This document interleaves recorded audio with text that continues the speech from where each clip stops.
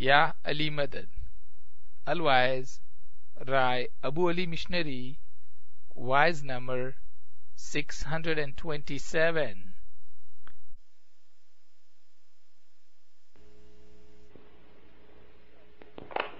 Ya Ali Madad.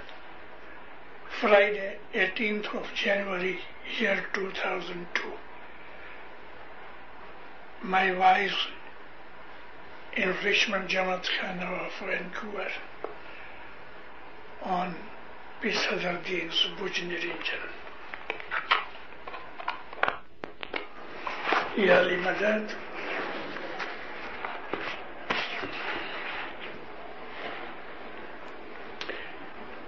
थोड़ी preface बोलूं सबसे पहले सलाम और सुजूद अपने मालिक इमाम जमान शाह करीम हजर इमाम पे दीनदारो मुझे जब ये कहा गया कि भुज निरंजन के ऊपर वाइज करनी है तो मैं मन मन में जरा मुस्कराया। बात क्या है?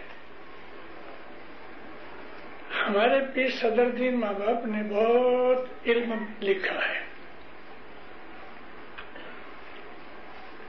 पीर सदरदीन की लाइफ के लिए मैं थोड़ा सा बोलना चाहता हूँ ताकि पता लगे कि पीर सदरदीन दुनियावी नज़र में कैसे थे। वो जमाने के अंदर 600 बरस पहले इंडिया में जो बनारस, आज उसको बनारस कहते हैं, लेकिन उस जमाने में उसका पुराना नाम है काशी। और हिंदुओं के हिसाब से काशी पवित्र गाँव है, जैसे हमारे लिए मक्का, मदीना है। गुरपी सदरदीन काशी गए बड़े बड़े पंडितों के साथ मिले। और एक मुसलमान होके वेदों के ऊपर, गीता के ऊपर, उपनिषदों के ऊपर, जब भी चर्चा हुई तो वो लोग हैरान हो गए। आखिर एक डिबेट अरेंज हुई। और पंडितों के उस वक्त के जो मशहूर पंडित थे, उनके सामने पीर सदरदीन ने डिबेट की और जीते। तो उन्होंने फिर पीर सदरदीन को सोहदेव का लकब दिया। सोहदेव। ट्रू डेइटी सच्चा देव। और उनको विग पहनाई, जैसे आज किसी को पीएचडी मिलती है तो उसको गाउन पहनाते हैं विग पहनाते हैं स्कार्फ देते हैं। तो पी सदरदीन ने इस नाम को एडॉप्ट करके अपने बहुत से गिनानों के अंदर कहा भी है। कहे, पीर सहदेव, सतगुर सहदेव। तो गुरपीर सदरदीन ने बड़े आलिम से पीर तो थे ही, और हम पीर उसको कहते हैं कि जिसको इमाम अपॉइंट करता है। पीर कोई मामूली चीज़ नहीं जिस तरह इमाम अली मुर्तुजा का नूर है, पीर मोहम्मद रसूलुल्लाह का नूर है। और ये शाह पीर खुद खुदा ताला की जात में है। मेरी सब वाजें तो नहीं सुन सकते लोग। तीन हज़ार कैसेट है इस वक्त। मैंने ये ज़िक्र किया हुआ है कि खुदा के नामों में बहुत से नाम हैं उसके, लेकिन जो 99 नेम्स एट्रीब्यूट्स हैं खुदा के, इनमें दो भाग हैं। एक ऐसे नाम हैं कि जो शमसी हैं। दूसरे नाम हैं वो कुमरी हैं। शमसी नाम वो हैं कि जिन अल से शुरू होते हैं। और उमरी नाम वो हैं कि जो या से शुरू होते हैं। लेकिन कहने का मेरा मकसद और है, खुदा के नामों में दो किस्म के नाम हैं। एक वो नाम है कि जिनको हम जलाली नाम कहते हैं। ये बात मैं बैतुल ख्याल की आवाजों के अंदर अक्सर करता हूँ। क्योंकि हमारे पास जो बोल है, वो बोल जलाली है कि जमाली है, हमें इस बात का इल्म नहीं, क्योंकि हम अरबी नहीं जानते हैं। और अरबी जान लेना भी काफ़ी नहीं, उसका इल्म होना चाहिए। जलाली और जमाली दो किस्म के नाम है। जलाली नाम वो है कि जिसके अंदर ताकत है, ज़ोर है, गर्मी है और उसके अंदर अथॉरिटी है। जैसे कि अल्लाह उसका जाति नाम है, लेकिन हम जब कहते हैं कि जल जलाल वल इकराम तो ये जलाली नाम है मेजेस्टिक नाम है। जिस तरह से पिता जो फादर है, वो गर्म है अथॉरिटेटिव है डिमांडिंग है। ऐसा खुदा ताला के जो जलाली नाम है, वो अथॉरिटेटिव नाम है। गर्म है पावरफुल है। खुदा ताला के वो नाम के जो जमाली हैं, वो माँ की तरह ठंडे हैं टॉलरेंट हैं। जैसे गफूर बख्श देता है। जैसे कि रब पालने वाला माँ की तरह पालता है।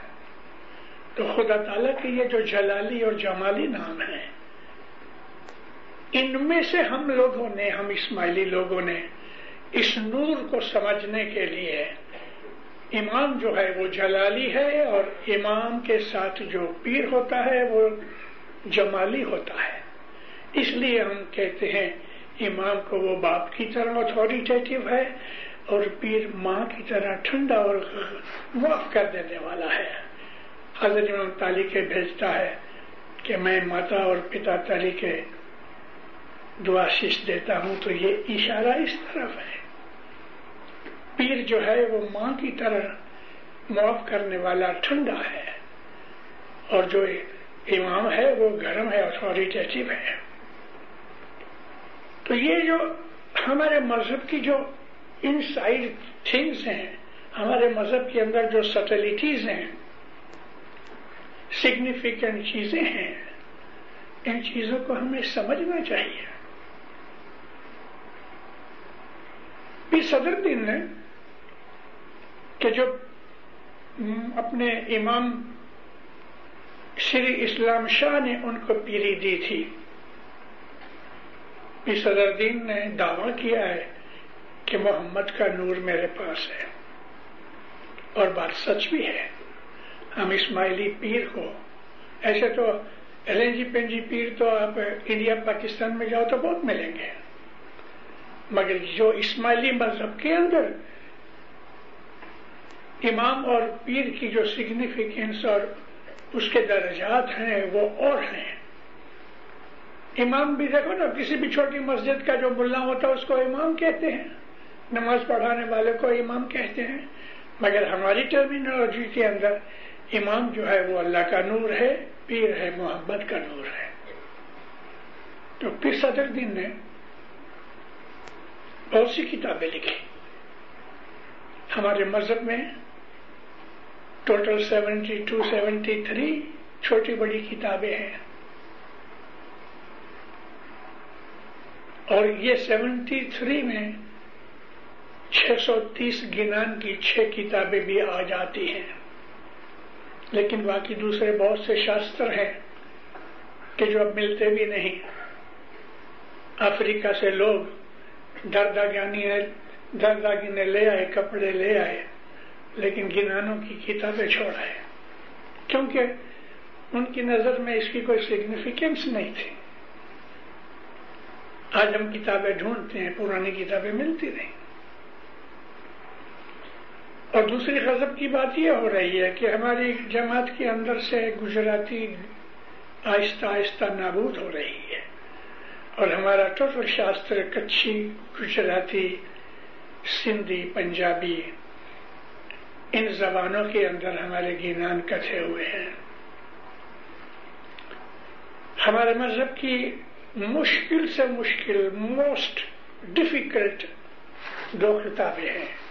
एक है गुरबावली, चालीस पेज की किताब है सदरदीन की गर्भावली उसमें डायलॉग के तौर पे सदरदीन ने कमाल किया है।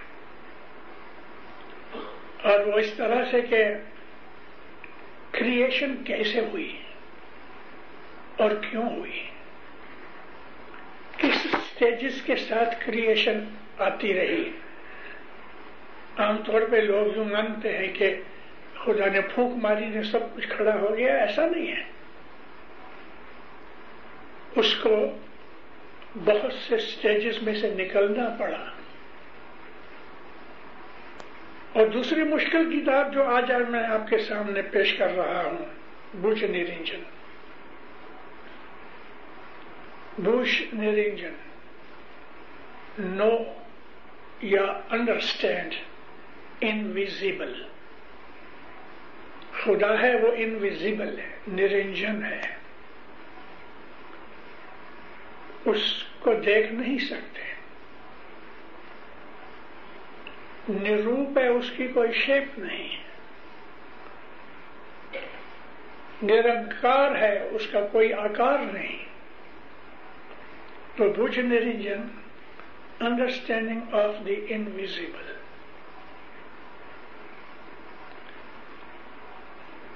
मुझे जब ये पैगाम मिला इसके लिए तो चलो मैं हुक्म मानता हूँ।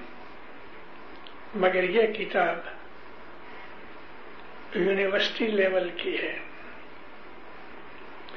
और आम जमायतें जो हैं, जमात कॉमनली प्राइमरी लेवल की है।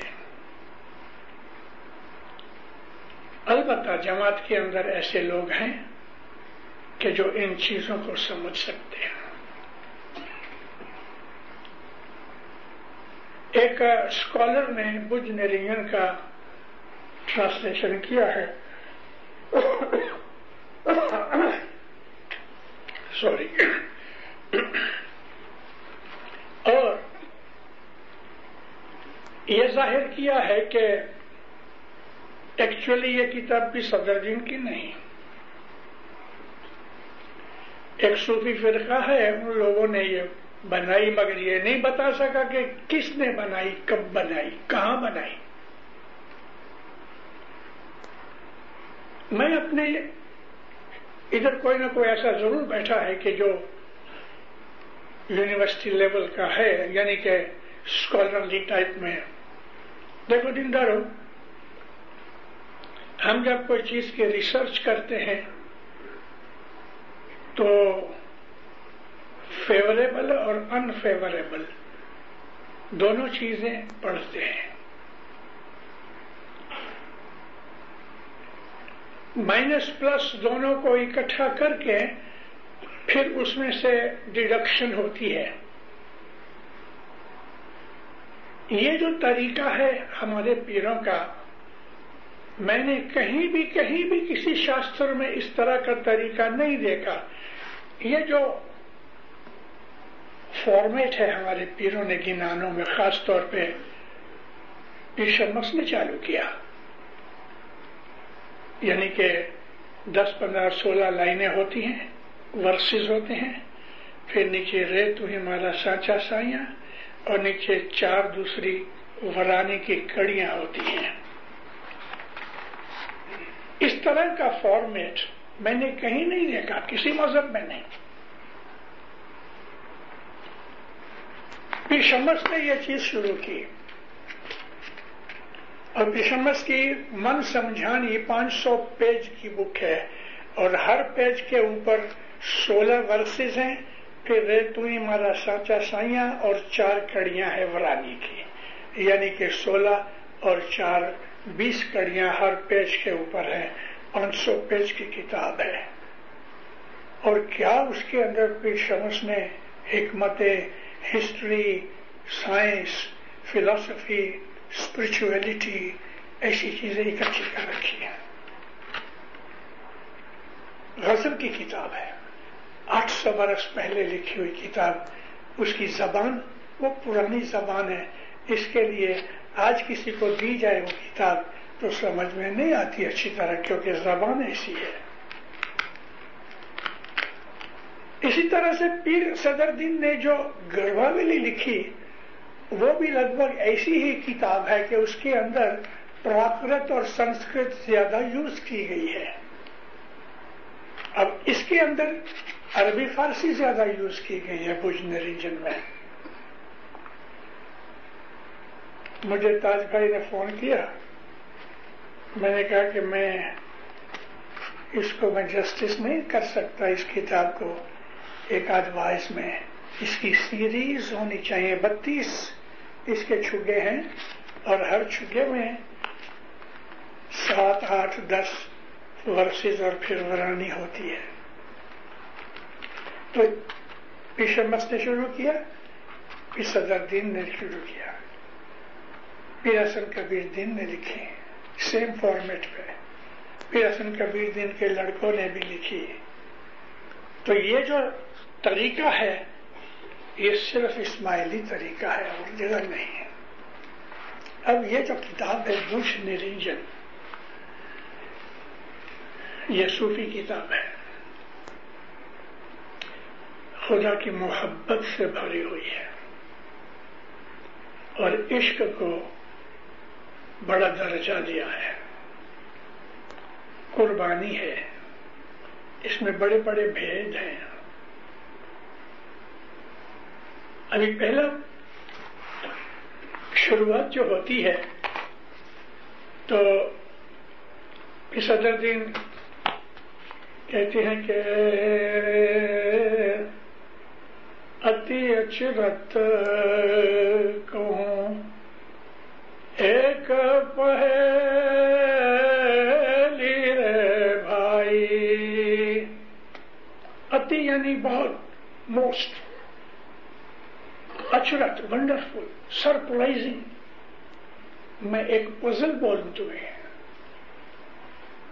जिस थी हो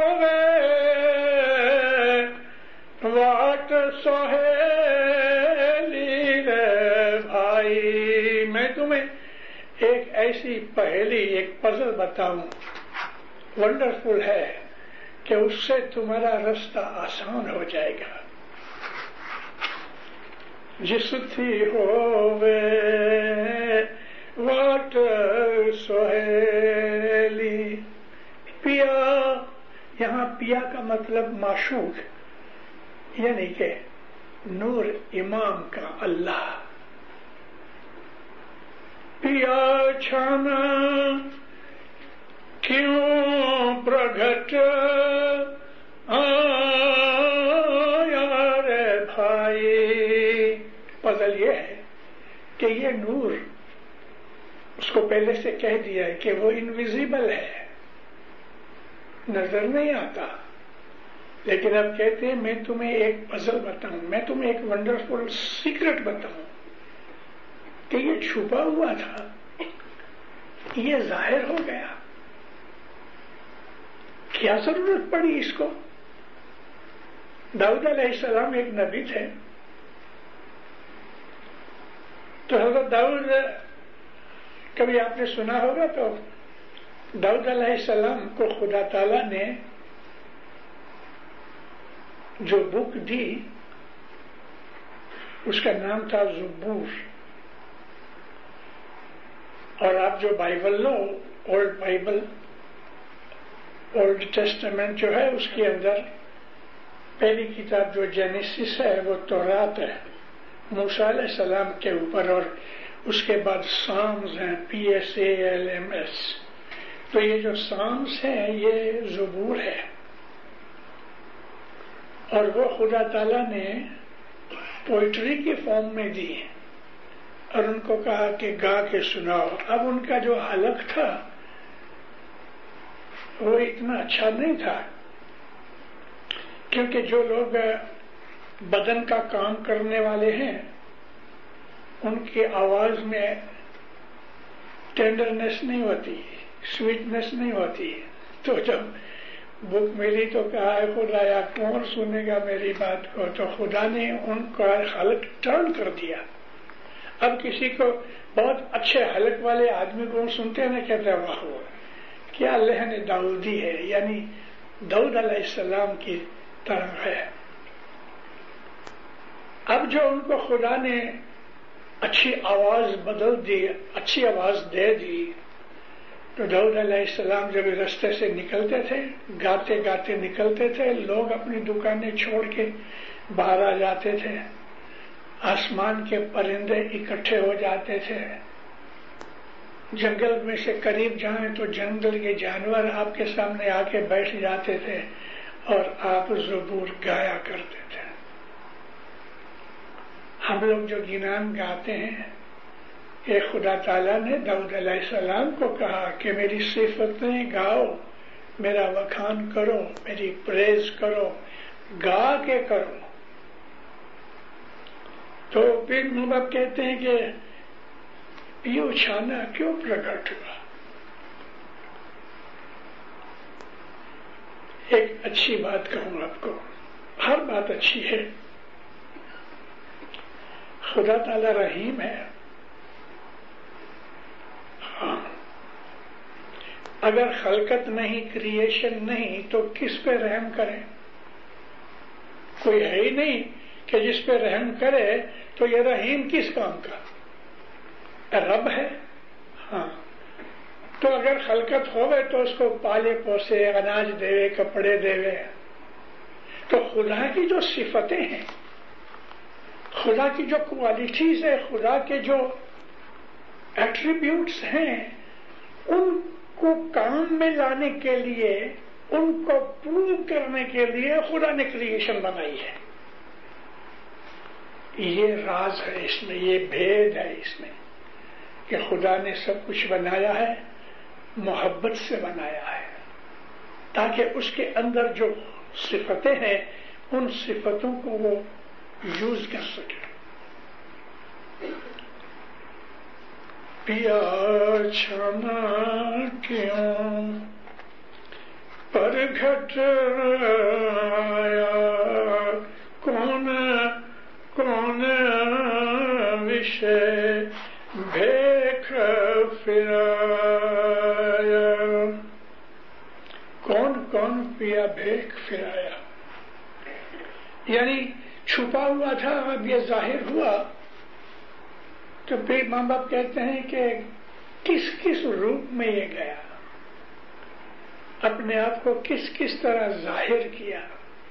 जैसी ज़रूरत पड़ी ज़ाहिर किया। मूसा सलाम खुदा के नबी हैं और उलिल अजमन पैगंबर हैं। छह पैगंबर ऐसे हैं, छह प्रॉफिट्स जिनको हम सब दूसरों से ऊँचा मानते हैं। तो मूसा सलाम नबी भी थे, रसूल भी थे। रसूल उसको कहते हैं जिस पे किताब उतरती है। लोग पूछते हैं, या नबी, आपने खुदा को देखा? अब वो नबी है। वो तो खुदा को देखते भी हैं, जानते भी हैं, खुदा से बातें करते हैं। तो यहाँ आके अटक गए। चुप हो गए जवाब न दिया। टूर पे गए। अल्लाह की आवाज़ आई, मूसा में क्या बात है? आज परेशान हो। तो यह मौला, मुझे लोग पूछते हैं कि तुमने खुदा को देखा। अब यहाँ देखने का मतलब इंसानी अवतार में है। किसी फॉर्म के अंदर क्या कि खुदा की फॉर्म नहीं है। खुदा का जो नूर है, वो इनविजिबल है।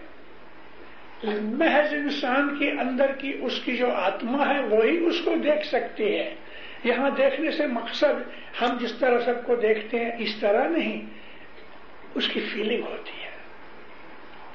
जैसे कि एक पेंटर होता है, वो पेंटिंग करने से पहले उसकी कल्पना में वो पेंटिंग पहले से होती है। और वो अंदर की आँखों से उसको देखता है।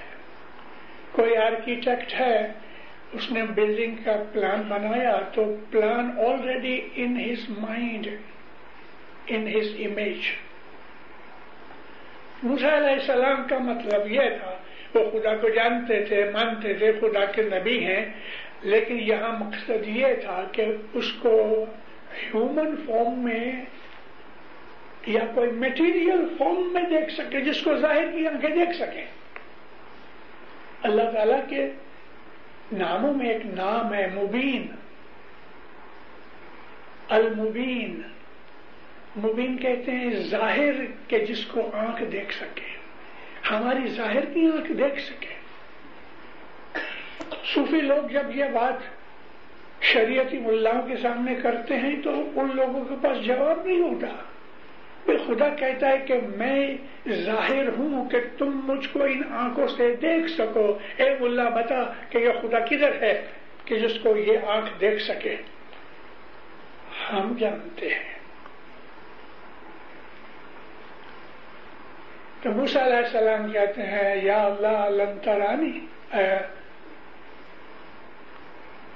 लंतरानी तो मूसा को खुदा ने जवाब दिया, रब्बी अरनी। मेरे रब, मैं तुझको देखना चाहता हूँ। फरमाया है मूसा लंतरानी तू मुझे नहीं देख सकता। लेकिन जब इंसिस्ट किया मूसा सलाम ने तो खुदा ने अपना जलवा वहाँ एक दरख्त था, ओक का। ओ एक के, ओक की लकड़ी यहाँ बहुत है, हमारे पास कनेडा में। ओक का ट्री था।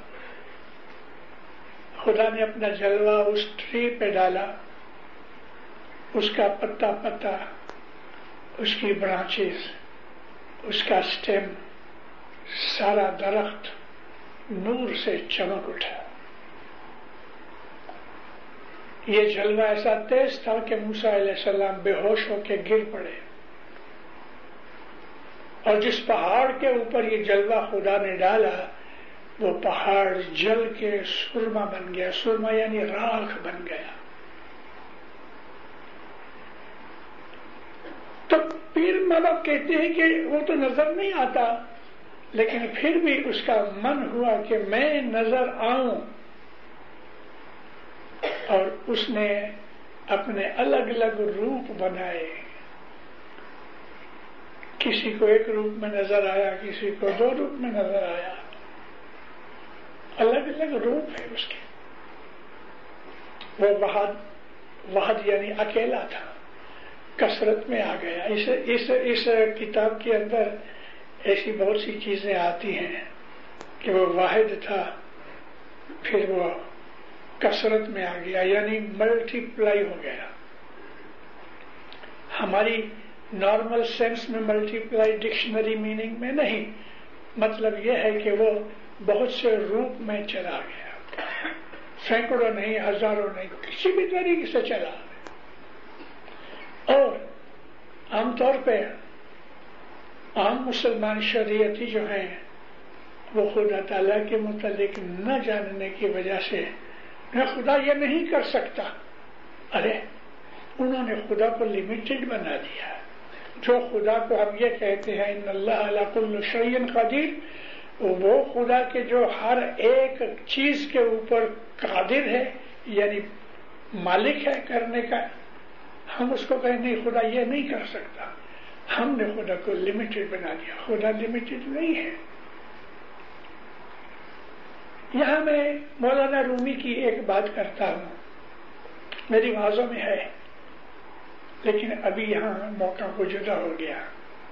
रूमी लिखते हैं कि मूसा सलाम एक दिन तूर के ऊपर जाते थे। माउंट सेनाई रस्ते में उनको एक भंगी की तरह ऐसा आदमी मिला कि जो हकीकत में कुछ ऐसी बूटी खाता था कि वो नशे में आ जाता था और अल्लाह अल्लाह करता रहता था। खड़ा हुआ, सलाम किया, या नबी, दरबार में जा रहे हैं हाँ अल्लाह को कहो, आज सारा दिन हो गया मुझे मेरी बूटी नहीं मिली। रहम करे, उसका बंदा हूँ। मूसा सलाम चले गए। एक बूढ़ा व एक बूढ़ी ये कपल, एक चादर लपेटी दोनों ने, ठिठर रहे हैं, काँप रहे हैं। ठंडी बहुत थी। मूसा सलाम को कहा, अल्लाह को अर्ज़ करो, दिन रात तेरी याद करते हैं। तस्बी करते हैं।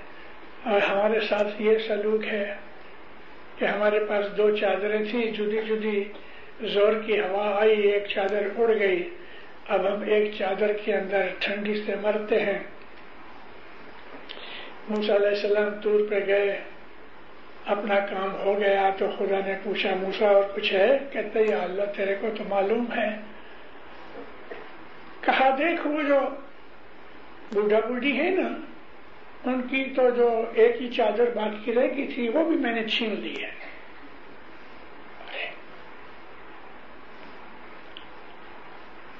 या अल्लाह तो सुबह शाम तेरी तस्बी करते हैं। हाँ उनसे जाके पूछ लेना। क्या पूछूँ? कहना, मैंने अल्लाह के दरबार में सुई के नाक के सुराख में से मैंने ऊंटों की एक लाइन चल मैंने ऊंटों की एक लाइन चलती देखी। सुई की आँख हम इंग्लिश में बोलते हैं आई ऑफ़ द नीडल उसमें धागा तो जाता नहीं है, ऊँट कहाँ से जाएगा? लेकिन अल्लाह ने दिखाया भी। अल्लाह कहते कि जो, वो जो फकीर है ना हाँ फकीर ने अल्लाह को थोड़ा दम भी मारा था। या मूसा अल्लाह को कहना, जो आज मुझे जो बूटी नहीं मिली तो लकड़ी उठा के कहता, मैं तेरा आसमान तोड़ दूँगा। तो मूसा सलाम कहते हैं कि, या अल्लाह, कैसी बेवकूफ़ी की बात की है? तू उसे मुआफ कर दे। मूसा, मैं अगर उसको बूटी न देता तो वो सचमुच मेरा आसमान तोड़ देता। ओह, यानी वो ऐसा दर्जे का आदमी है कि खुदा का आसमान तोड़ दे रहे ये बात उसको सुना ना मूसा सल्लम वापस आए, पहले वो बूढ़ा बूढ़ी मिले, रोते थे, यार अभी। हाल तो देखो, आपने मुँह फेराया, ज़ोर की हवा आई और दूसरी चादर भी उड़ गई। अब यह हम, हमारी मौत नज़दीक है, ये है, वो है बहुत रोते पूछा नहीं कुछ के उधर क्या हुआ, लेकिन मूसा सल्लम ने कहा कि मैंने खुदा से अर्ज़ की है, तुम पे रहम करे। लेकिन वहाँ एक मैंने तमाशा देखा कि सुई के सुराख में से ऊंटों की कतार जा रही है, वो बूढ़ा कहता है, या नबी, क्यों झूठ बोलते हो? डागा जाता नहीं, ऊंटों की कतार कहाँ जाएगी? ये सब अल्लाह के ठिकाने पता लग गया कि ईमान नहीं है। जब उस आदमी के नज़दीक पहुँचे, वो दूर से खड़ा हुआ, हंसने लगा, नाचने लगा, कहता, या नबी, आपने मुँह फिराया? एक आदमी ने आके मुझको मेरी चीज़ दे दी। मैं अभी मस्ती में हूँ, खुश हूँ। मुझे बैठो बैठो। मुझे सुनाओ कि अल्लाह के दरबार में क्या देखा। जब ये हकीकत बयान की, बहुत हंसा। कि आप तो नबी है या नबी? वो मेरा मालिक ऊंटों की कतार क्या सारी दुनिया सुई के नाके में से निकल सकता है? दोनों के ईमान में फ़र्क है। अब ये खुदा के अलग अलग रूप है। किसी को वो कैसा नज़र आता है, किसी को वो कैसा नज़र आता है। तो फिर फिर सदरदीन आदाब ने जो जो ये किताब में आगे आगे जाओगे, उसमें बड़ी बड़ी ऐसी चीज़ें कही हैं, लाठी उन जात कहा मेरे भाई। ला थी उन जात कावे जाकी बात कही नव जावे यानी नथिंग इनविजिबल निरंजन खुदा की जो जात ला में थी, यानी कुछ भी नहीं था। ला थी उनकी जात कहावे कि जिसकी समझ इंसान को नहीं आती क्या की बात कही न जावे। खुदा एक ऐसा सीक्रेट है कि इस सीक्रेट को सुलझाना और ये कोड ब्रेक करना, उसकी जब मर्ज़ी होती है, वही कर सकता है, वगरना नहीं। खुदा ताला को ये अर्ज़ कर रहे हैं या खुदाया, मुझे तू दीदार दे, जो हमारी कॉमन दुआ है, या मौला दीदार दे, या मौला दीदार दे। कौन सा दीदार? क्योंकि दीदार बहुत है। बहुत सी किस्म के दीदार हैं। हमें कौन सा दीदार चाहिए? क्योंकि इस दुनिया में भी दीदार है, उस दुनिया में भी दीदार है। हमें आज तक रोज ये दुआ मांगते हैं, या मौला, दीदार दे। लेकिन हमें मालूम नहीं कि दीदार है क्या। दीदार का मतलब क्या? दीदार का मतलब है आँखों से देखना तो क्या आपने नहीं देखा। हजर इमाम का जो दीदार किया है, ये अल्लाह का दीदार है। बीबी आयशा के साथ नबी करीम बैठे हैं। बातें चीतें हो रही हैं। यकायक आयशा ने सवाल किया, या नबी, क्या हम अल्लाह को देख सकते हैं। नॉर्मल जवाब ये है, नहीं। ऐन उसी वक्त जवाब देने से पहले सवाल खत्म हुआ और मुर्तजाली चले आते हैं। दूर थे जरा। फरमाया, हाँ, अल्लाह का दीदार होता है। आयशा, ये देख, अल्लाह के चेहरे वाला आ रहा है। अली के चेहरे पे नज़र करना इबादत है। अली का दीदार अल्लाह का दीदार है। हम इस्माइलियों का जो ईमान है तरीकाई में, वो ये है कि हजर इमाम है, वो अल्लाह का नूर है। नूर तक हमारी आँखें पहुँच नहीं सकती, लेकिन जब हम उसका दीदार, उसके बदन का उसके चेहरे का दीदार करते हैं तो ये मोमिनो, अल्लाह का दीदार है। अली के चेहरे पे नज़र करना इबादत है। तो अब हमको कौन सा दीदार चाहिए? जाहिरी दीदार चाहिए, बातूनी दीदार चाहिए, बातूनी दीदार भी हज़ारों किस्म के हैं। किसी को बाप की प्यार का दीदार देता है, किसी को माँ के प्यार का दीदार देता है, किसी को दोस्त बन के दीदार देता है। किसी को माशूक बन जाता है, किसी का आशिक बन जाता है। हमको कभी ये डिसाइड करने की समझ नहीं आई कैसा दीदार चाहिए। हमको ये डिसाइड करना चाहिए कैसा दीदार चाहिए। क्योंकि हमारी ताकत कैसी है? मेरे पास एक लाख डॉलर है। और क्या इस एक लाख डॉलर से मैं कोई दस बीस मिलियन का कोई मकान लेना चाहूँ तो वो मेरी ताकत के बाहर है। इसलिए मैं एक लाख के नीचे जो मिलता है वो मैं ले सकता हूँ। आप अपने दिल के अंदर यहाँ ये मॉर्गेज बना लेते हैं, ये मॉर्गेज की हिकमतें दीन में नहीं है। इसके लिए मैंने आपको ये एक मिसाल दी है कि जितने खीसे में या हाथ में रकम है, पैसे हैं, इधर तक हम खरीद सकते हैं। यहाँ मेरा मतलब पैसों से नहीं, अपनी रूहानी ताकत से है। मेरी रूहानी ताकत इस लायक है कि मैं जबरील सलाम का दीदार कर सकूँ? खुदा तो बहुत दूर है। क्या मेरे अंदर ऐसी ताकत है कि मैं किसी छोटे से छोटे फरिश्ते को देख सकूँ?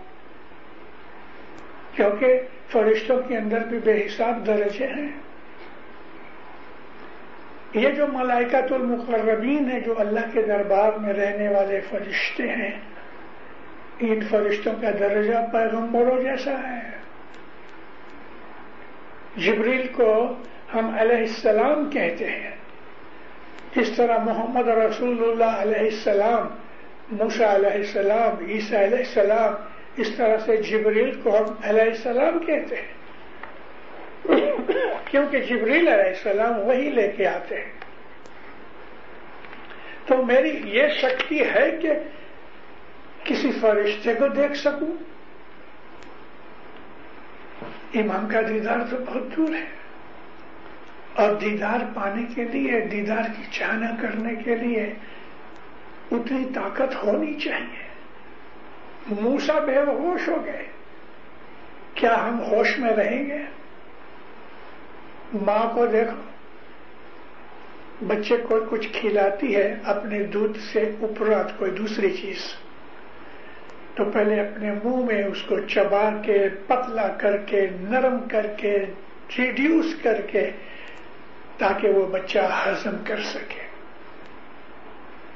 हमारे पीरों ने ऐसा किया है।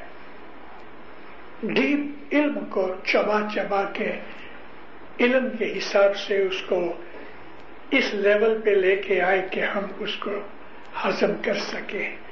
यानी यहाँ हजम करने का मतलब आप उसको समझ सको।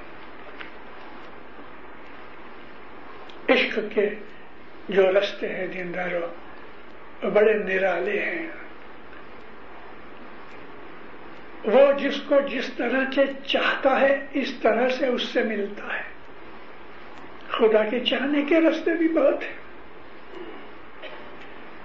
दिन कहते हैं कि मुझे बताओ कि ये छुपा हुआ पिया ये किस किस भेष में आया कि उसकी बातें समझने में नहीं आती।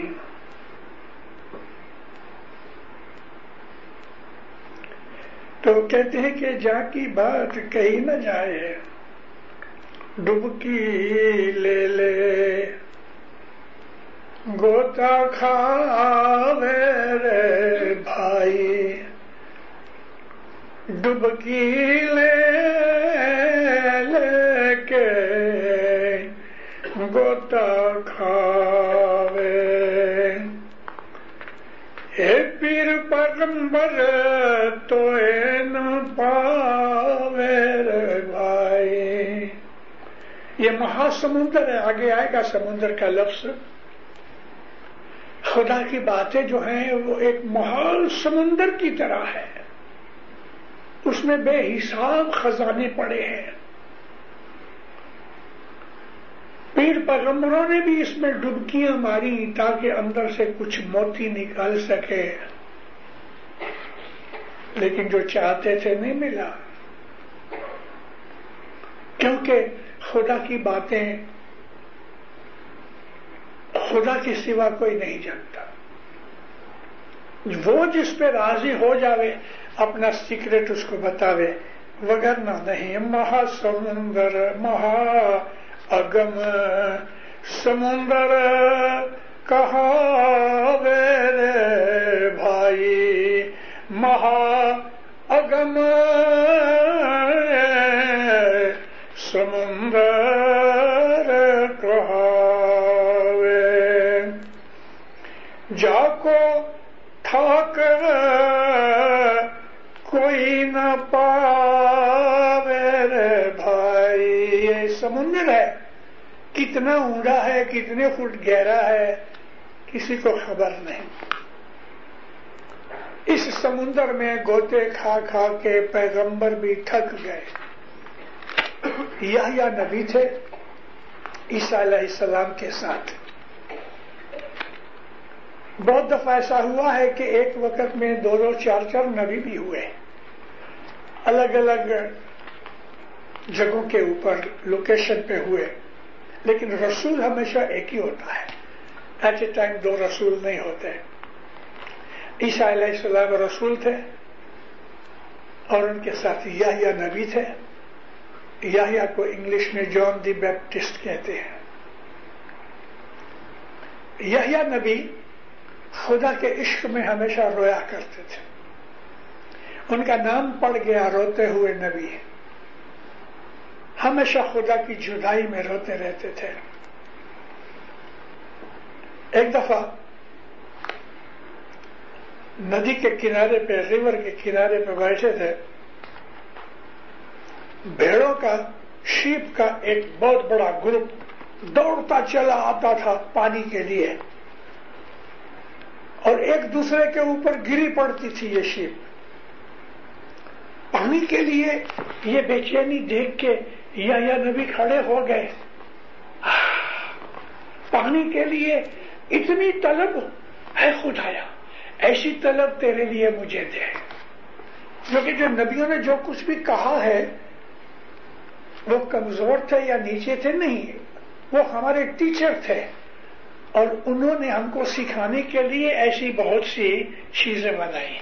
तो यह नबी खड़े हो गए। है खुदाया। इनको जो तलब है पानी की, ऐसी तलब दे मुझे। भेड़े आई, पानी पिया और उधर ही किनारे के ऊपर मुँह फिरा दिया। अभी पानी पिया था तो क्या हुआ? यूरिनेट किया। पानी को गंदा किया। ओह, ना खुदाया। ना, ऐसा मुझे नहीं चाहिए। कि इतनी तलब के बाद ये अंजाम। तलब इतनी कि दौड़ रहे हैं, एक दूसरे ऊपर गिरे पड़ते हैं, और जब मिल गया तो ये अंजाम। नहीं भैया खुदाया तुझे जो मंसूर हुए मुझे दे। तो मेरा कहने का मकसद यहाँ इस मिसाल से यह था कि हमें अपनी ताकत का अंदाज़ा नहीं। और इसी तरह से हमें उस परवरदिगार की ताकत का अंदाज़ा नहीं। तो क्या करना चाहिए? मोहम्मद रसूलुल्लाह सल्लल्लाहु अलैहि वसल्लम का तरीका हर वक्त अपने आप को नीचा समझना, अपने गुनाहों की हमने अपने मज़हब को समझा नहीं ह्यूमिलिटी जमात खाना, मौला का घर है।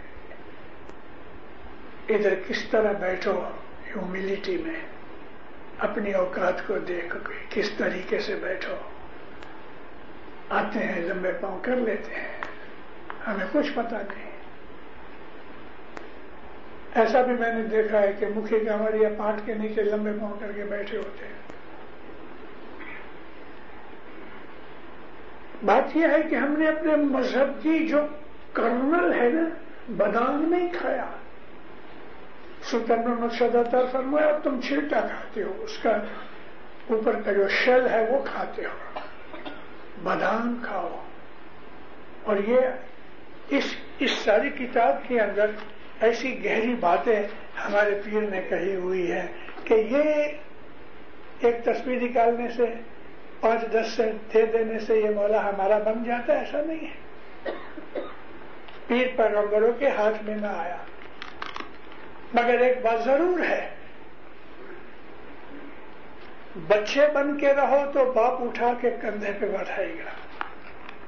लेकिन 25 वर्ष के छोकरे को बाप कंधे पे नहीं बिछाता। डांट डिपट भी करता है और सजा भी देता है।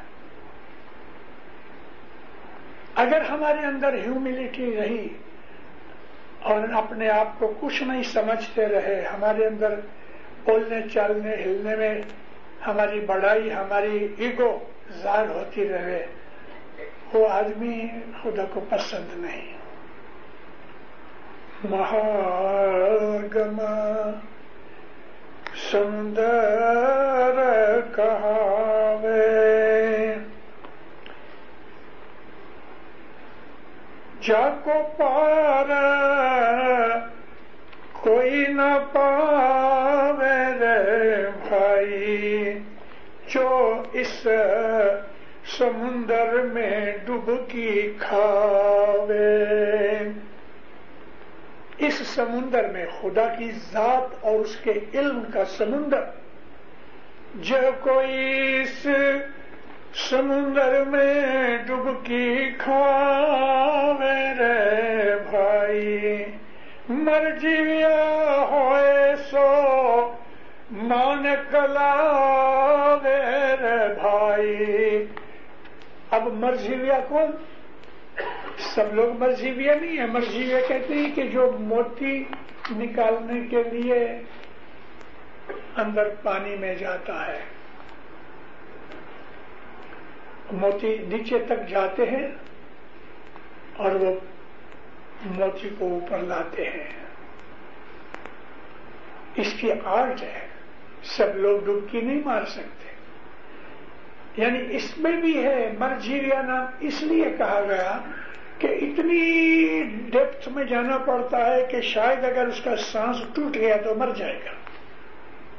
हो सकता है कि कोई बड़ा मगर कोई बड़ी मच्छी उसको पकड़ ले कोई दूसरा जानवर पकड़ दे। इसलिए अपनी जान जोखम में डाल के वो नीचे उतरते हैं। और ये जो मौला का रास्ता है, फिर सदरदीन कहते हैं, ये ऐसा ही है। जान जोखम में डालो तो ये मिले। मर्ज़ी बिया होवे, सो मानक लावे डुबकी ले ले।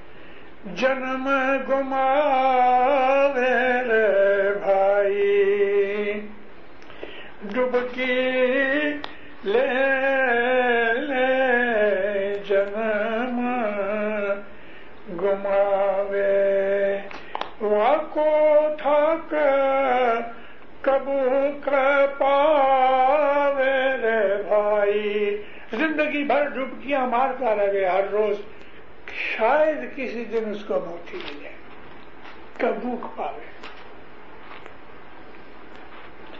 अब यहाँ ये चौदह वर्सेस पूरे होते हैं, और फिर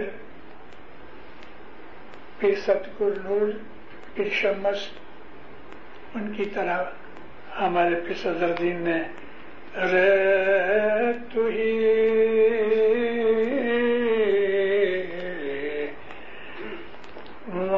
मारा साचा साइया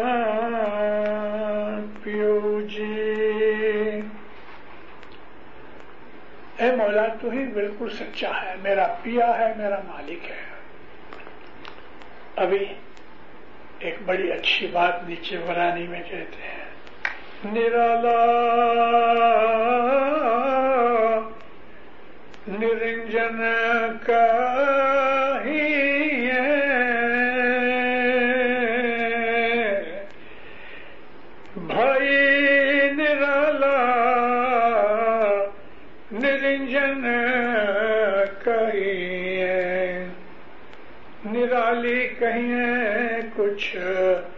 बात रे। भाई निराली है कुछ बात। गूँगे सपना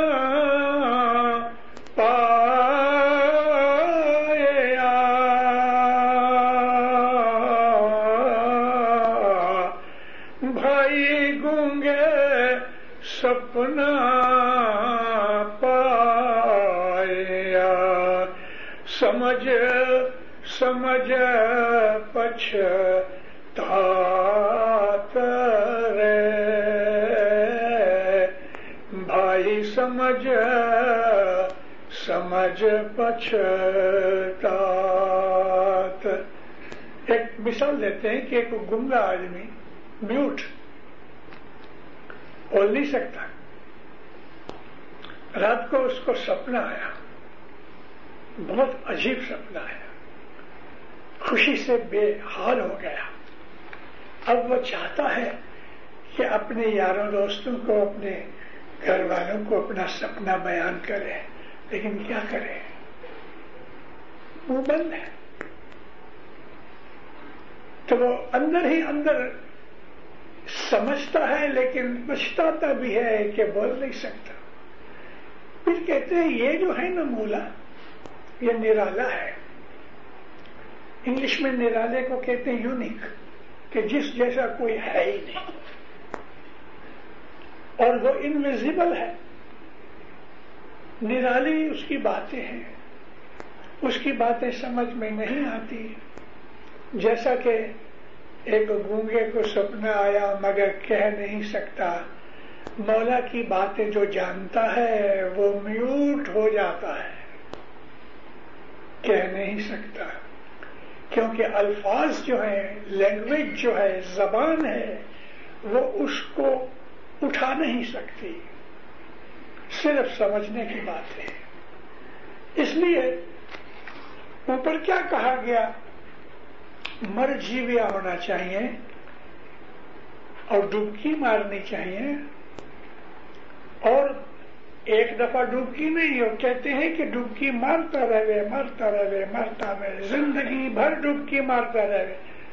फिर शायद कभी उसको एक मोती हाथ आवे। तब उसको फिर पियो मिलता है। ये सारी किताब ऐसी है। लेकिन आगे चल के और भी ऐसी सख्त हो जाती है। इश्क जो है ना क्रूड है। लव जब आदमी अपने माशूक स्वीट हार्ट को देखता है, खुश होता है। उसकी जुदाई में दुख होता है। लेकिन अगर हकीकत देखी जाए, मैंने लव के ऊपर जो वाजे किए, मैंने जमात को कहा है कि वेस्टर्न टाइप के जो लोग हैं, यूरोपियन अमेरिकन जिन्होंने ओरिएंट का कोई स्टडी करके एक्सपीरियंस नहीं किया, उनको मालूम नहीं कि लव क्या है। कोई कोई इनमें है खुदा ताला के बंदे। लेकिन जो मोहब्बत लड़का लड़की एक दूसरे को देखते हैं, लव हो जाता है। नहीं दिन धरो ये लव नहीं है। ये अट्रैक्शन है। क्योंकि शादी करते हैं, तीसरे महीने लड़ते हैं। तो लव किधर गई लव तो ज़िंदगी भर रहती है, कभी मिटती नहीं। लव कभी मिटती नहीं। लव जिसको पड़ जाए, वो मिट जाता है। लव नहीं मिटती। और लव आग की तरह है कि उसमें आग में जो चीज़ डालो, वो आग बन जाती है। तो हम तो नॉर्मली जो बोलते हैं ना, लव वो लव का लफ्ज बराबर नहीं है। पीरों के गिनानों में जो हमको बताया गया है, मोहब्बत मोहब्बत ज़िंदगी भर निकलती नहीं। इंसान को मरोड़ के तेल निकालती है। और इंसान को इस तरह से बना देती है कि उसके अंदर कोई हूपनी रहती नहीं। जहाँ आऊँ, आई, ये आया, वहाँ मोहब्बत भाग जाती है, या फिर उसको मारती है।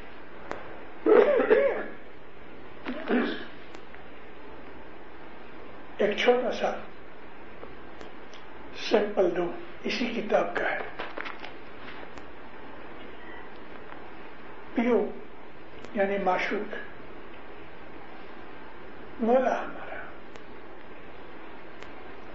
इसके पाठ है? कारण, मौला के कारण। जो दुखड़ा सहवे। और ये शाह पीर खुद खुदा ताला की जात में है। मेरी सब वाजें तो नहीं सुन सकते लोग। तीन हज़ार कैसेट हैं इस वक्त। मैंने ये ज़िक्र किया हुआ है कि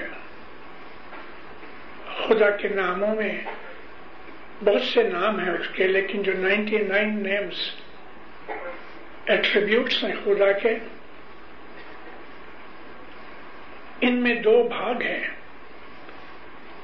एक ऐसे नाम हैं कि जो शमसी हैं। दूसरे नाम हैं वो कुमरी हैं। शमसी नाम वो हैं कि जिन अल से शुरू होते हैं। और कुमरी नाम वो हैं कि जो या से शुरू होते हैं। लेकिन कहने का मेरा मकसद और है, खुदा के नामों में दो किस्म के नाम हैं। एक वो नाम है कि जिनको हम जलाली नाम कहते हैं। ये बात मैं बैतुल ख्याल की आवाजों के अंदर अक्सर करता हूँ। क्योंकि हमारे पास जो बोल है, वो बोल जलाली है कि जमाली है? हमें इस बात का इल्म नहीं, क्योंकि हम अरबी नहीं जानते हैं। और अरबी जान लेना भी काफ़ी नहीं, उसका इल्म होना चाहिए। जलाली और जमाली दो किस्म के नाम है। जलाली नाम वो है कि जिसके अंदर ताकत है, ज़ोर है, गर्मी है और उसके अंदर अथॉरिटी है। जैसे कि अल्लाह उसका जाती नाम है, लेकिन हम जब कहते हैं कि जल जलाल वल इकराम तो ये जलाली नाम है मेजेस्टिक नाम है। जिस तरह से पिता जो फादर है, वो गर्म है अथॉरिटेटिव है डिमांडिंग है। ऐसा खुदा ताला के जो जलाली नाम है, वो अथॉरिटेटिव नाम है। गर्म है पावरफुल है। खुदा ताला के वो नाम के जो जमाली हैं, वो माँ की तरह ठंडे हैं टॉलरेंट हैं, जैसे गफूर बख्श देता है। जैसे कि रब पालने वाला माँ की तरह पालता है। तो खुदा ताला के ये जो जलाली और जमाली नाम है, इनमें से हम लोगों ने, हम इस्माइली लोगों ने, इस नूर को समझने के लिए इमाम जो है वो जलाली है और इमाम के साथ जो पीर होता है वो जमाली होता है। इसलिए हम कहते हैं इमाम को वो बाप की तरह अथॉरिटेटिव है और पीर माँ की तरह ठंडा और माफ़ कर देने वाला है। हजर इमाम ताली के भेजता है कि मैं माता और पिता ताली के देता हूँ तो ये इशारा इस तरफ़ है। पीर जो है वो माँ की तरह माफ़ करने वाला ठंडा है और जो इमाम है वो गर्म है अथॉरिटेटिव है। तो ये जो हमारे मज़हब की जो इनसाइड थिंग्स हैं, हमारे मज़हब के अंदर जो सटेलिटीज हैं सिग्निफिकेंट चीज़ें हैं, इन चीज़ों को हमें समझना चाहिए। इस सदर दिन ने कि जो अपने इमाम श्री इस्लाम शाह ने उनको पीरी दी थी इस सदरदीन ने दावा किया है कि मोहम्मद का नूर मेरे पास है, और बात सच भी है, हम इस्माइली पीर को, ऐसे तो एलएनजी पेंजी पीर तो आप इंडिया, पाकिस्तान में जाओ तो बहुत मिलेंगे, मगर जो इस्माइली मज़हब के अंदर इमाम और पीर की जो सिग्निफिकेंस और उसके दर्जात हैं, वो और हैं। इमाम भी देखो ना, किसी भी छोटी मस्जिद का जो मुल्ला होता है, उसको इमाम कहते हैं। नमाज़ पढ़ाने वाले को इमाम कहते हैं। मगर हमारी टर्मिनोलॉजी के अंदर, इमाम जो है, वो अल्लाह का नूर है, पीर है, मोहब्बत का नूर है। तो पीर सदरुद्दीन ने बहुत सी किताबें लिखी। हमारे मज़हब में total seventy two seventy three छोटी बड़ी किताबें हैं। और ये सेवेंटी थ्री में 630 गिनान की छह किताबें भी आ जाती हैं। लेकिन बाकी दूसरे बहुत से शास्त्र हैं कि जो अब मिलते भी नहीं। अफ्रीका से लोग दर्दा ज्ञानी दर्दा गिने ले आए, कपड़े ले आए, लेकिन गिनानों की किताबें छोड़ आए। क्योंकि उनकी नज़र में इसकी कोई सिग्निफिकेंस नहीं थी। आज हम किताबें ढूंढते हैं, पुरानी किताबें मिलती नहीं और दूसरी गजब की बात यह हो रही है कि हमारी जमात के अंदर से गुजराती आहिस्ता आहिस्ता नाबूद हो रही है। और हमारा टोटल शास्त्र कच्छी गुजराती, सिंधी, पंजाबी, इन जबानों के अंदर हमारे गिनान कथे हुए हैं। हमारे मज़हब की मुश्किल से मुश्किल मोस्ट डिफ़िकल्ट दो किताबें हैं। एक है गुरबावली, चालीस पेज की किताब है पिसदरदीन की गर्भावली उसमें डायलॉग के तौर पे पिसदरदीन ने कमाल किया है। और वो इस तरह से कि क्रिएशन कैसे हुई और क्यों हुई? किस स्टेजेस के साथ क्रिएशन आती रही? आमतौर पे लोग जो मानते हैं कि खुदा ने फूक मारी, ने सब कुछ खड़ा हो गया, ऐसा नहीं है।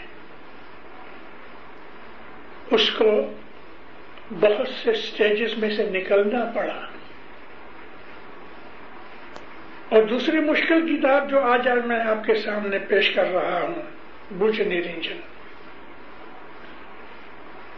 बुझ निरंजन नो या अंडरस्टैंड इनविजिबल खुदा है वो इनविजिबल है निरंजन है उसको देख नहीं सकते निरूप है उसकी कोई शेप नहीं निरंकार है उसका कोई आकार नहीं बुझ निरंजन अंडरस्टैंडिंग ऑफ़ द इनविजिबल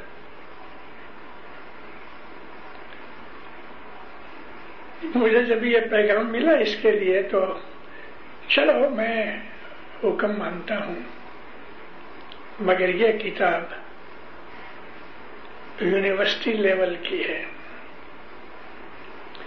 और आम जमायतें जो हैं, जमात कॉमनली प्राइमरी लेवल की है।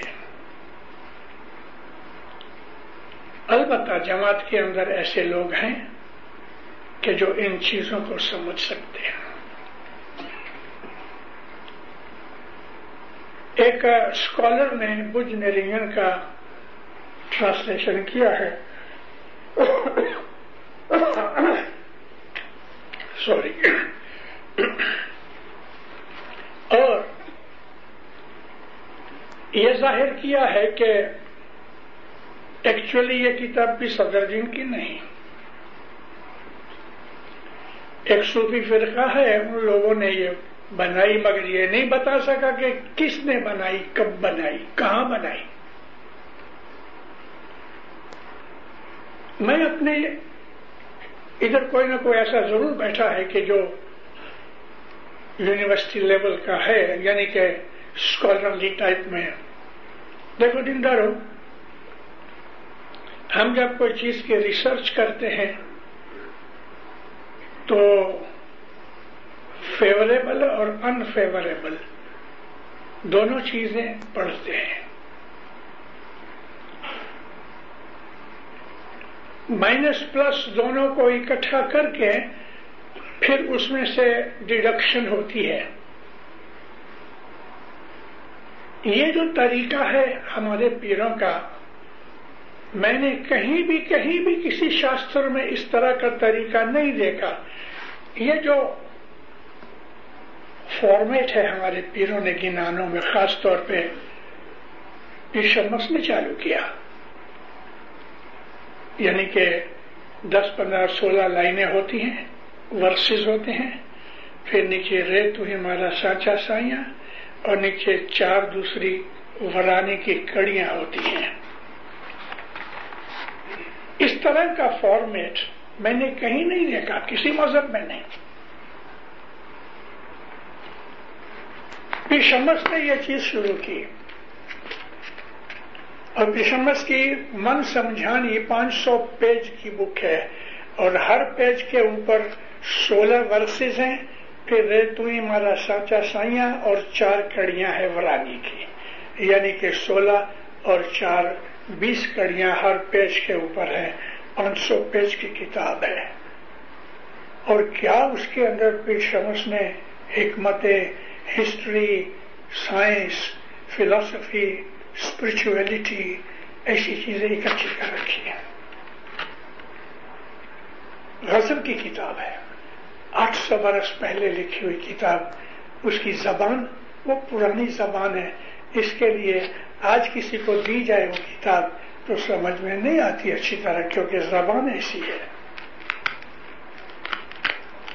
इसी तरह से पीर सदरदीन ने जो गर्भावली लिखी, वो भी लगभग ऐसी ही किताब है कि उसके अंदर प्राकृत और संस्कृत ज़्यादा यूज़ की गई है। अब इसके अंदर अरबी फारसी ज़्यादा यूज़ की गई है भुजन रीजन में मुझे ताज भाई ने फ़ोन किया। मैंने कहा कि मैं इसको मैं जस्टिस नहीं कर सकता, इस किताब को एक आध वाइस में। इसकी सीरीज़ होनी चाहिए, बत्तीस इसके छुगे हैं और हर छुगे में सात, आठ, दस वर्सेज और फिर वरानी होती है। तो पिशमस ने शुरू किया फिर सदरदीन ने शुरू किया।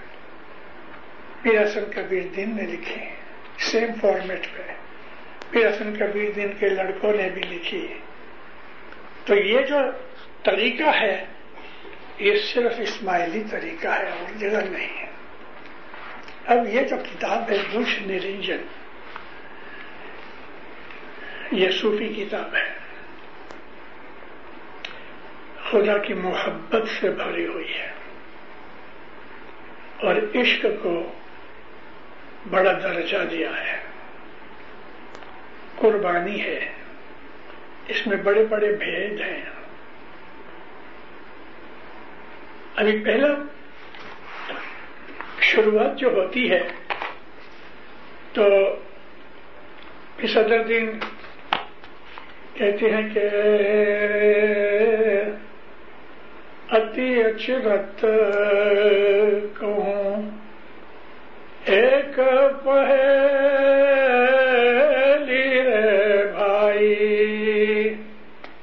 अति यानी बहुत मोस्ट। अचरत वंडरफुल सरप्राइजिंग मैं एक पजल बोलूँ तुम्हें। ए जिस थी होवे वाट सोहेली रे भाई। मैं तुम्हें एक ऐसी पहली, एक पजल बताऊँ। वंडरफुल है कि उससे तुम्हारा रास्ता आसान हो जाएगा। जिस थी होवे, वाट सोहेली। पिया, यहाँ पिया का मतलब माशूक। यानी के नूर इमाम का अल्लाह। पिया छाना क्यों प्रगट आया रे भाई?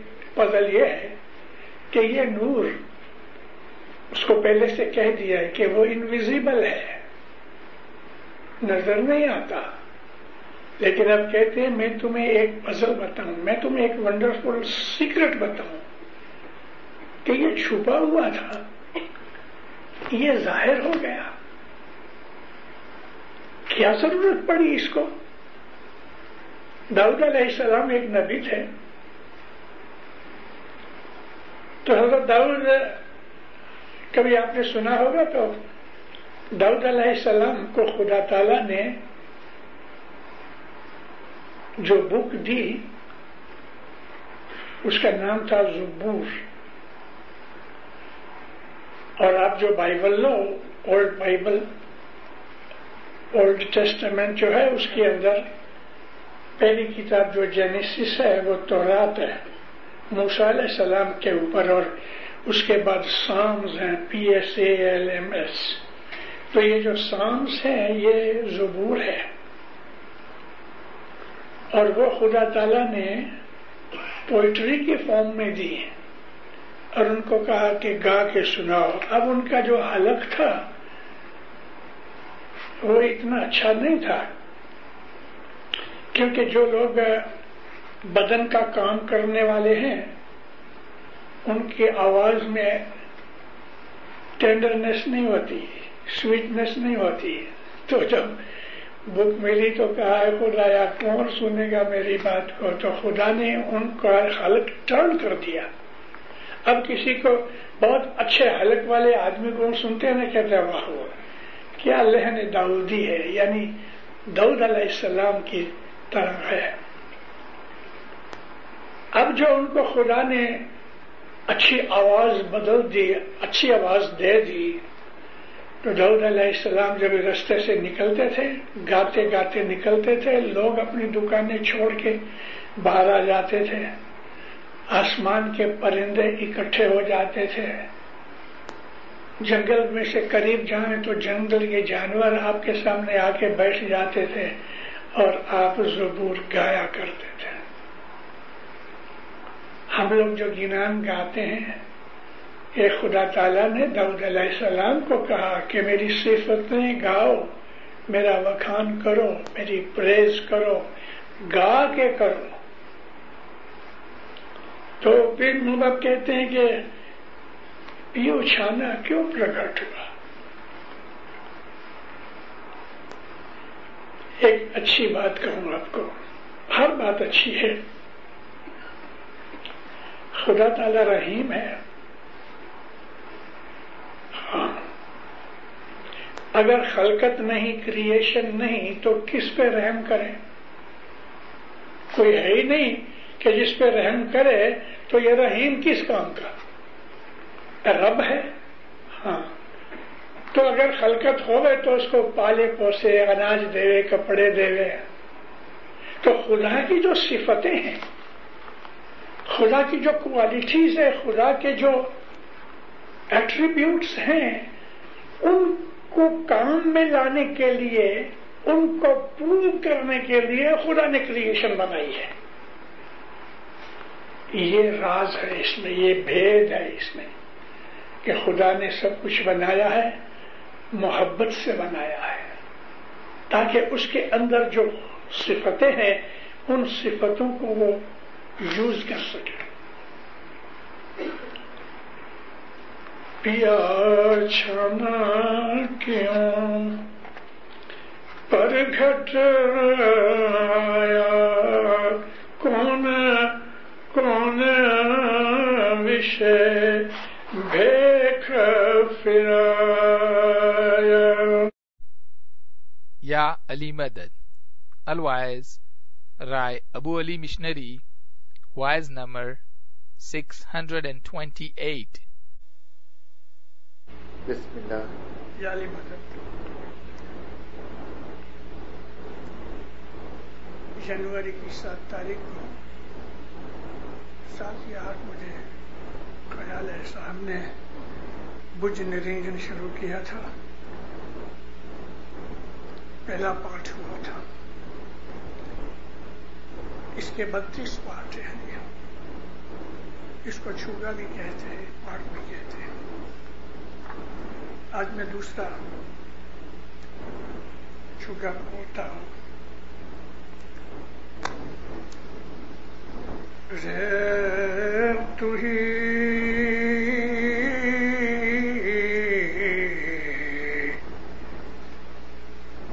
मारा साचा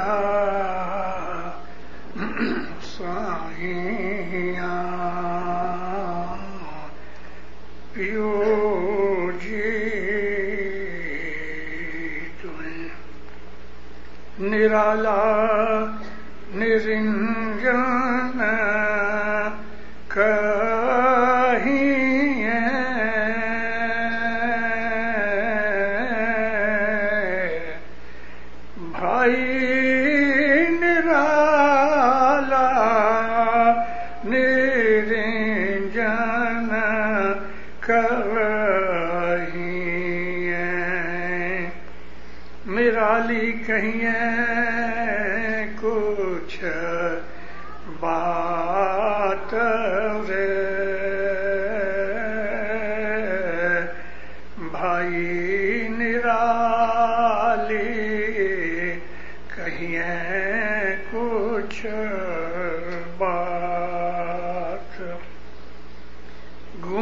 बात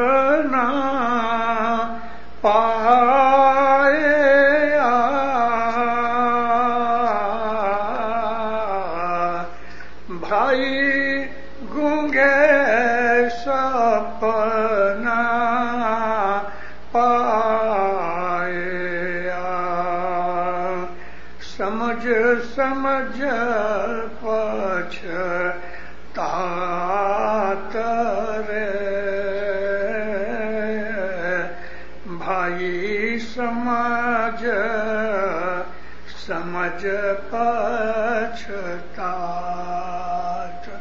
मौलाना हाजिर इमाम के मोहम्मद।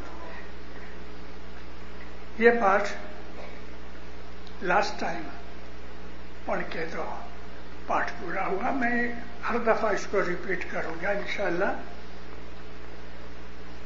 खुलासा तो मैं कर चुका हूँ कि वो खुदा जो नज़र नहीं आता उसका कोई आकार नहीं उसका कोई स्वरूप नहीं उसकी कोई फ़िज़िकल बॉडी नहीं, कुछ नहीं मैटर नहीं कि हमें आँख से नज़र आ सके। वो एब्सोल्युटली स्पिरिचुअल है, नूर है। और उसकी जो बातें हैं पिसदीन कहते हैं, वो भी निराली हैं। निराला कहते हैं यूनिक को इंग्लिश में निराला मीन्स यूनिक उस जैसा और कोई है ही नहीं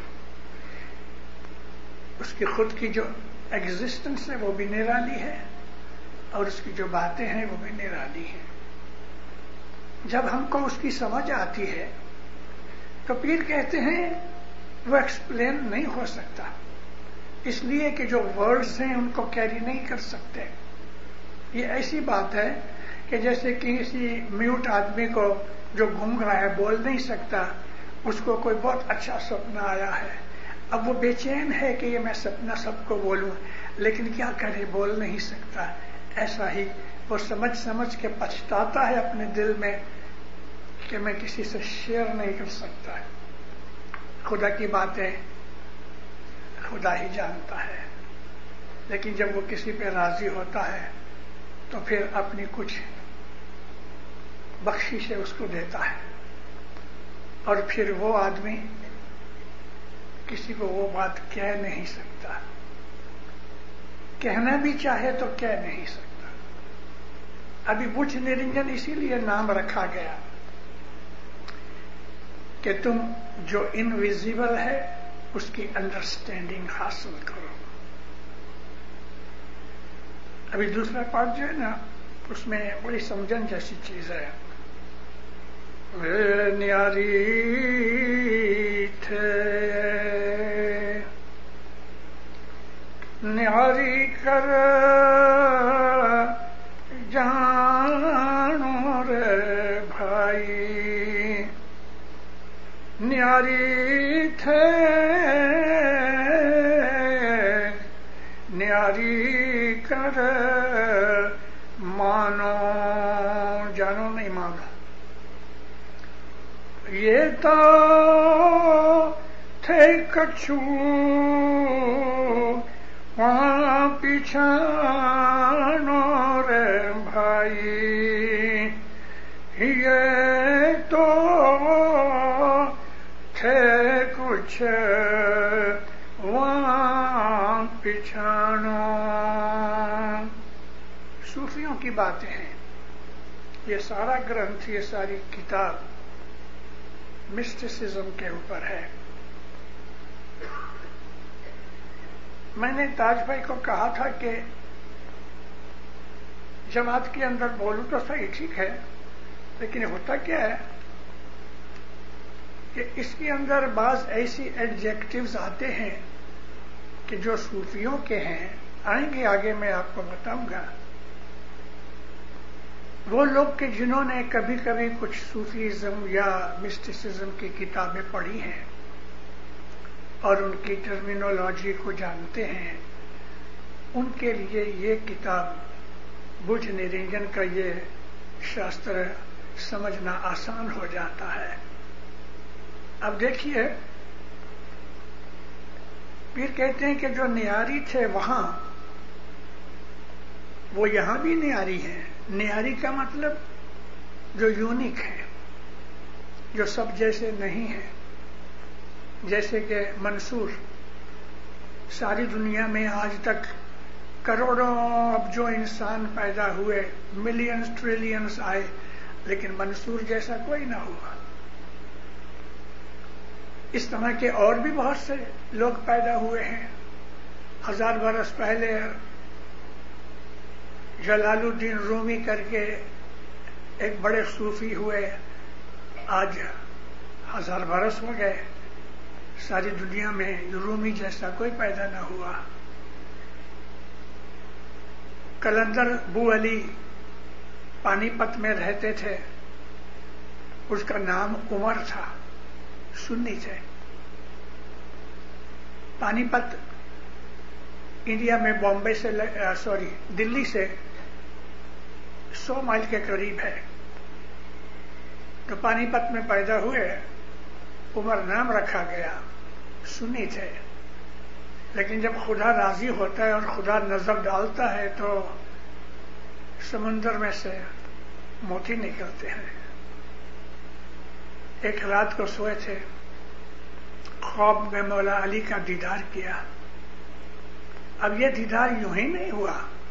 इबादत करते थे, नेक थे, वजीफे करते थे तस्बिया करते थे खड़े खड़े इबादत करते थे। एक रात अली का दीदार हुआ। कहा, देख, मैं अली हूँ। और आपने मौला मुर्तजा अली ने इसके सर पे हाथ रखा। इसको बख में लिया, हग किया। और जब छोड़ा तो इसके बदन से अली की बू आती थी।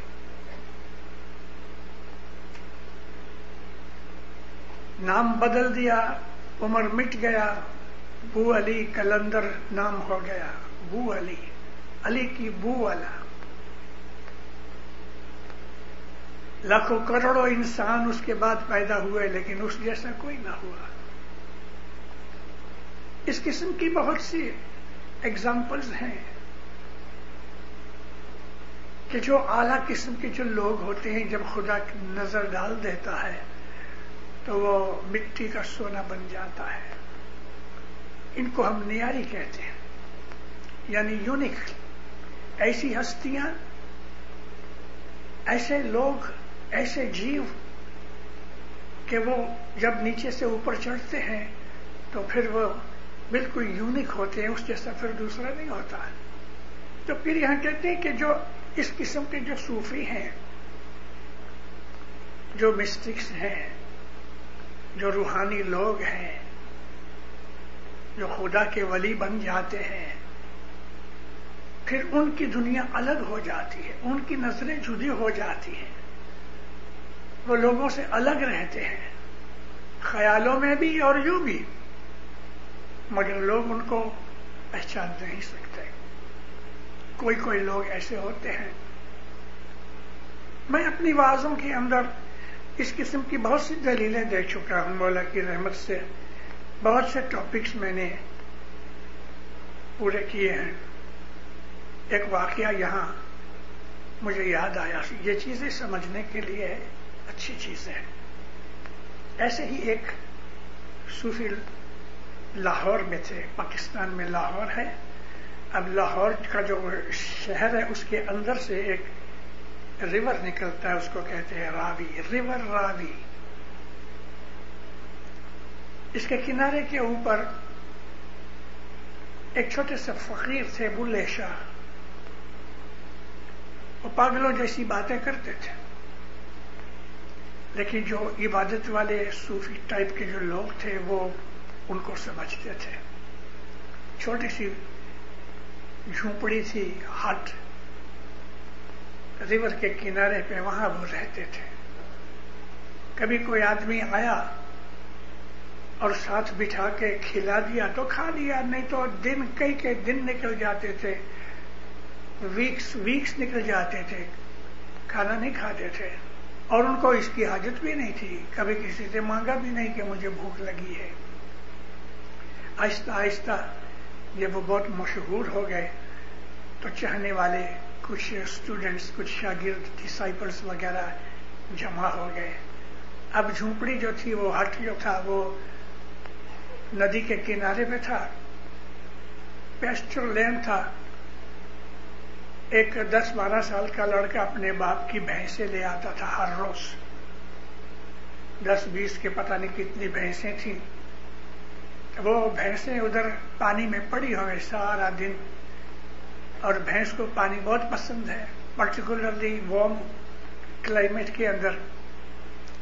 तो भैंसें तो पानी में पड़ी हैं और ये इधर उधर नाचता है, बेर तोड़ के खाता है, फल तोड़ के खाता है, गाता रहता है। और वो देख रहा है हर रोज के बहुत से लोग इस आदमी को मिलने आते हैं। एक दिन देखा दूर से के सैयद बुले शाह अकेले बैठे हैं। झोपड़ी के पास दरवाजे पे आके बाहर खड़ा रहा। वो उठ के बाहर आया, सिर पे हाथ रखा, प्यार किया। कहते, शाह साहब आप क्या काम करते हैं? हंस पड़ा। कहने लगा, हम खुदा का रास्ता बताते हैं। हाँ। तो मुझे भी बताइए। उसको देखा, मासूम लड़का है। पढ़ा लिखा कुछ नहीं। छोटी उम्र से बस खेल तमाशे में निकाला कहने लगा, मुझे बताओ, ये भैंसें किसकी हैं क्या मेरे अब्बा की हैं? इसमें कोई ऐसी भैंस है जो तुम्हें बहुत पसंद है? कहता, वो पड़ी है। अच्छा ये कैसे पता लगे कि तुझे पसंद है, तुझे पसंद करती है? कहते हाँ वो भी मुझे पसंद करती है। सीटी मारी, वो भैंस पानी से बाहर निकल के इसके पास आके खड़ी हो गई। कहने लगे, वाह वाह, देखो बेटा, तुम इस भैंस के साथ प्यार करो, इसकी बहुत खिदमत करो, इसका बहुत ध्यान रखो। फिर हम तुमको एक दिन खुदा का रास्ता बताएँगे। अच्छा जी। बस इसने उस भैंस का ज़्यादा ख्याल रखना शुरू कर दिया। भैंस, उसकी जो, भैंस की जो ब्रेन है ना, उसके अंदर इंटेलिजेंस जैसी बहुत छोटी सी चीज़ है। लेकिन फिर भी उसने इंसान के प्यार को, लव को रिसीव किया रिसेप्टिव बन गई प्यार की। भैंस के ऊपर भी प्यार ने असर किया। ये खड़ा होवे तो दूध देवे, अगर ये दूर है तो दूध नहीं देवे। ये बुलावे तो भागती चली आवे। ये वो उसका हुक्म माने, ये इसको प्यार कर रहे छह महीने गुजर गए। एक दफ़ा अपने शागिर्दों के पास कंपेनियंस पे बैठे बातें चीतें कर रहे हैं। कहने लगे वो यार, छह महीने पहले वो लड़का इधर भैंसों वाला, अब क्या हाल है उसको पूछो तो सही? तो एक आदमी उठा उसने लड़के को बुलाया। लड़के की आँखों में फ़र्क पड़ गया। नज़दीक आया। दरवाजे की झोपड़ी का जो हट दरवाज़ा था, बाहर खड़ा रहा। कहते आओ बेटा, आओ, अंदर आओ। तीची निगाहें की हुई हैं, हाथ जोड़े खड़ा है। आओ, अंदर आओ। कहते, मेरे सींग बहुत बड़े हैं, मैं अंदर नहीं आ सकता। सींगड़े बड़े हैं, मैं अंदर नहीं आ सकता। सींगड़े तो नहीं है। फ़ौरन खड़े होकर कहने लगे, ये ये लड़का तैयार हो गया।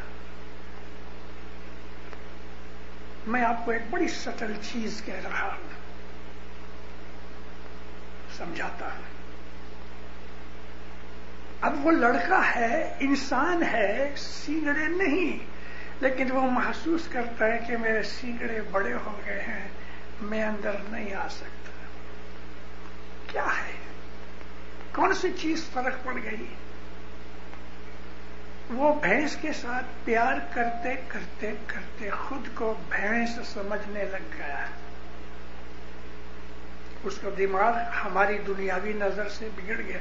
इसमें ऐसी बहुत सी चीज़ें आएँगी कि लोग कहेंगे, पुत्र तेरा बिगड़ गया है, दीवाना हो गया है। वो दीवानगी लोगों के लिए है, मगर उस दीवानगी के अंदर जो खुदा ताला की चमक है, वो कोई नहीं जानता। बाहर निकला। लड़के को गले लगाया। अब उसको एक इसमें आज़म दिया थे कि देखो बेटा तुम ये ये भैंस का नाम है। अब उसको ये नहीं कहा कि खुदा का नाम है। देखो ये, तेरी भैंस का ये नाम है।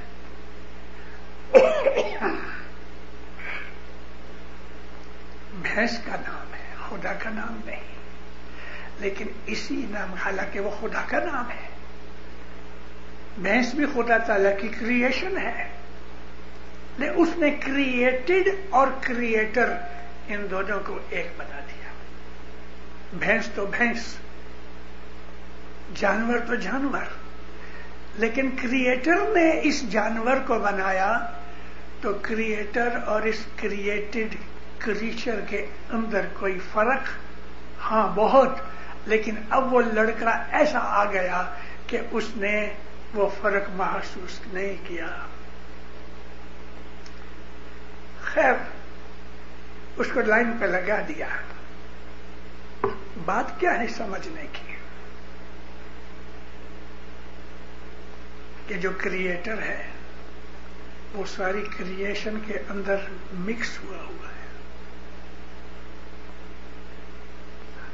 जिधर देखता हूँ, उधर तू ही तू है। जहाँ नज़र डालता हूँ या मौला, तू ही नज़र आता है। लोग नज़र नहीं आते, दरख्त नज़र नहीं आते, पहाड़ नज़र नहीं आते, तू नज़र आता है। तेरी शान नियारी है। इसलिए पी सदरुद्दीन महबूब कहते हैं कि जो नियारी इस दुनिया के अंदर जो नियारे हैं, यानी वो कि जो खुदा की शान को समझते हैं और लोगों जैसे नहीं हैं, वो वहाँ भी नियारे हैं। और वो लोग जो पहचानते हैं, लोग नहीं पहचानते। सब शिफायत ताकों जाकों तवेर भाई सब शफायत ताकों जाकों भावे सो शफायत गुण वेदंत वादंत कहा, वेरे भाई, पेंशन सो शफायत गुण, वहदंत कहावे। अब खुदा ताला की जो जात है, वो वाहद है। वाहद कहते हैं अकेला। यूनिक उस जैसा कोई ना हो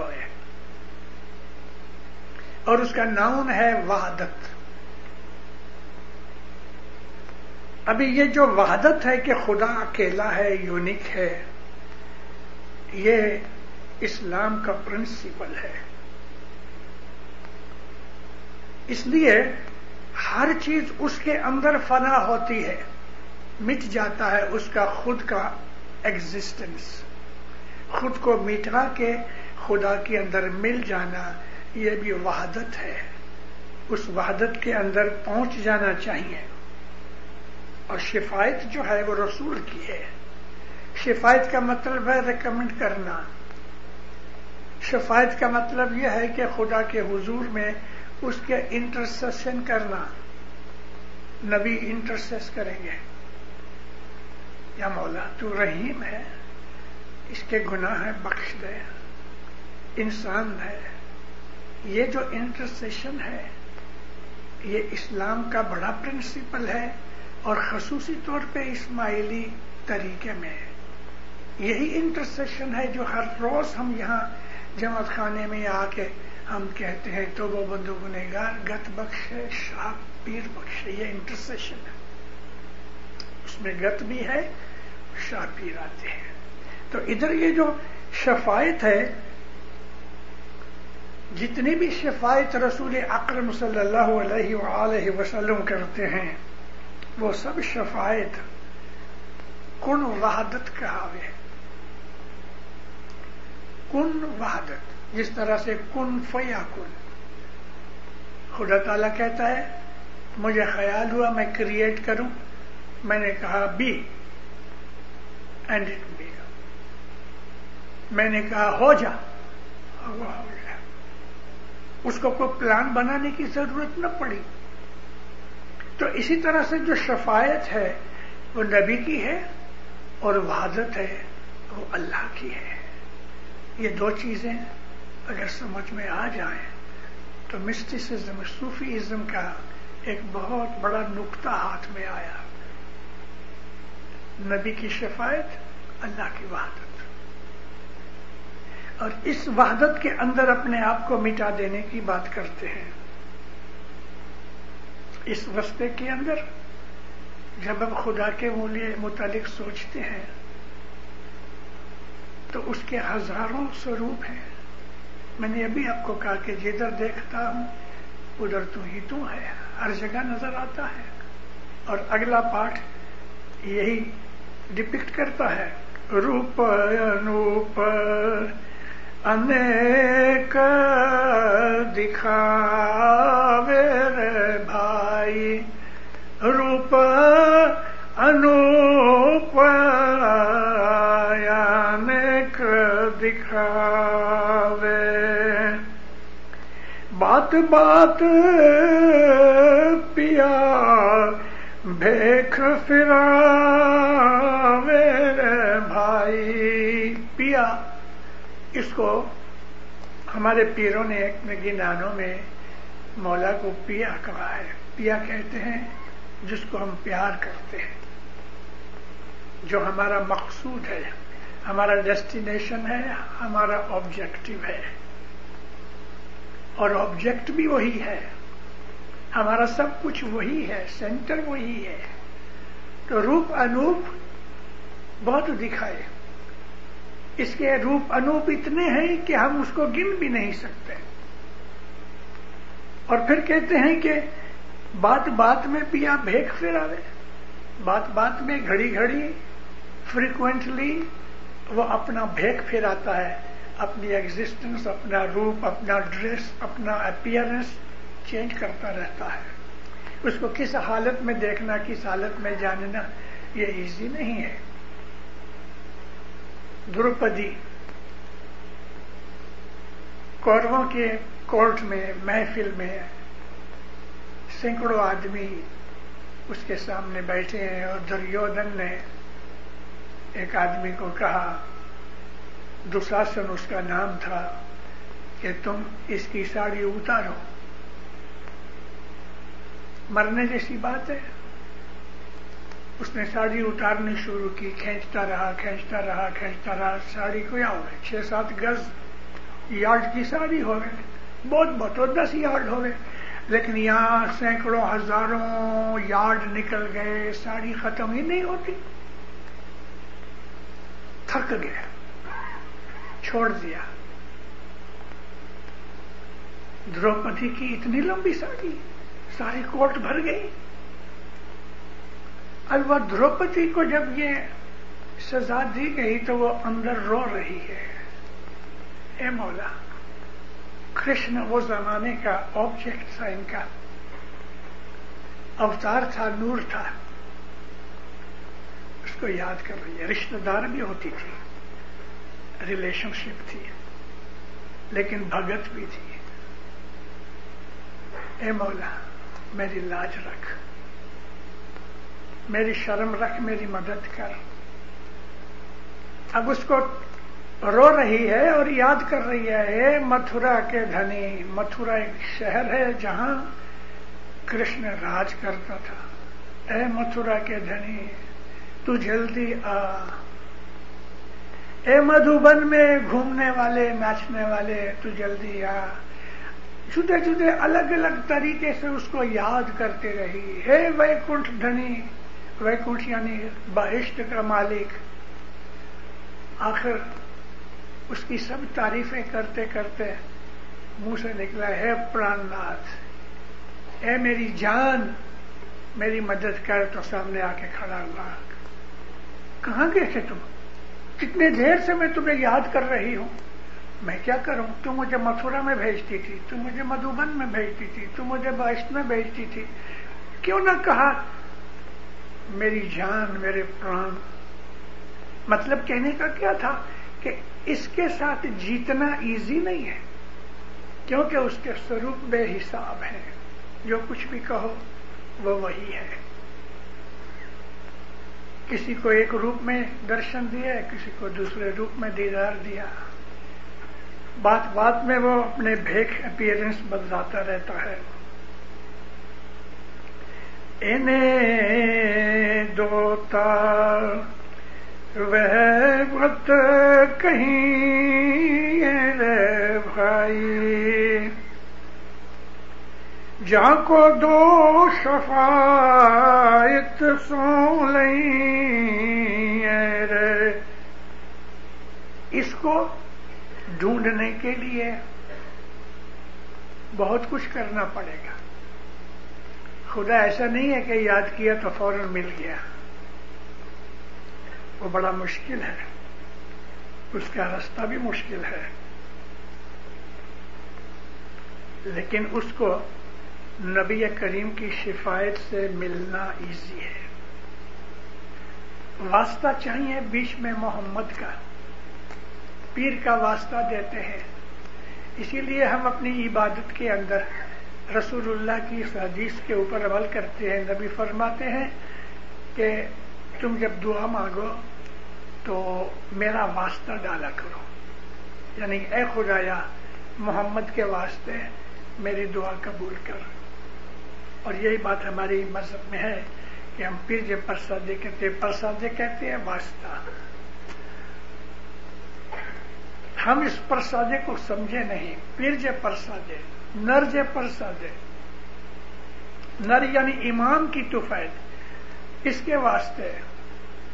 और पीर का तो वास्ता यानी पीर की तुफैल पीर के वास्ते मेरी मुश्किल आसान कर। सुबह का सतारा निकलता ना तो उस सताड़े के अंदर हम दुआ डालते हैं, बैतुल के सताड़े में। तस्वीर निकालते हैं सताड़े की, फिर हम कहते हैं यह मौला सताड़े जो प्रसादे मजलिस की कबूल कर, पीर का नाम तो भूल गए।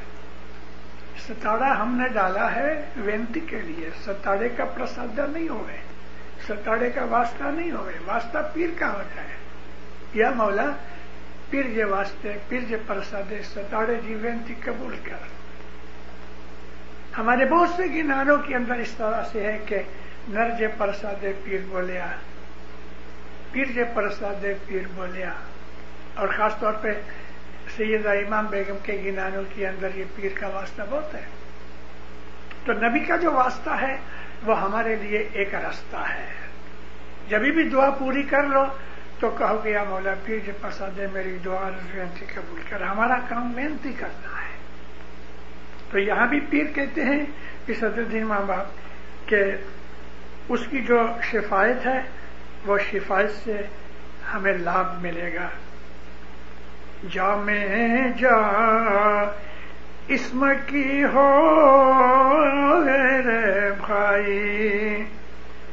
जामे जा, इसम की हो कहे अलूप वत होई सोए।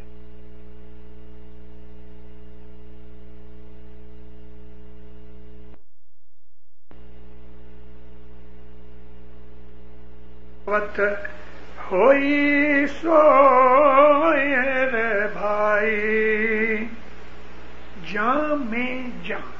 फारसी लफ्ज है, जान कहते हैं जान को, हमारी लाइफ को, जीव को। और जहाँ का दूसरी भी मतलब है वहाँ। तो यहाँ यह है कि जा में जान जिस बात के अंदर, जिस शरीर के अंदर, जिस जगह पे हमारी जान बैठी हुई है, यहाँ जान बैठने का मतलब उसको मोहब्बत करते हैं। तब वो मिलता है। अपनी जान में उसको जान बना डालो। यानी कि हमारी जो जान है, ये हकीकत में वो है। माँ अपने बच्चे को प्यार से कहते नहीं मेरी जान, तुम फ़िक्र मत करो, मैं बैठी हूँ। यहाँ माँ की जान बच्चा है, वो माँ की जान है, यानी कि माँ उसको इतना प्यार करती है, और खुदा ताला हमारी जान है।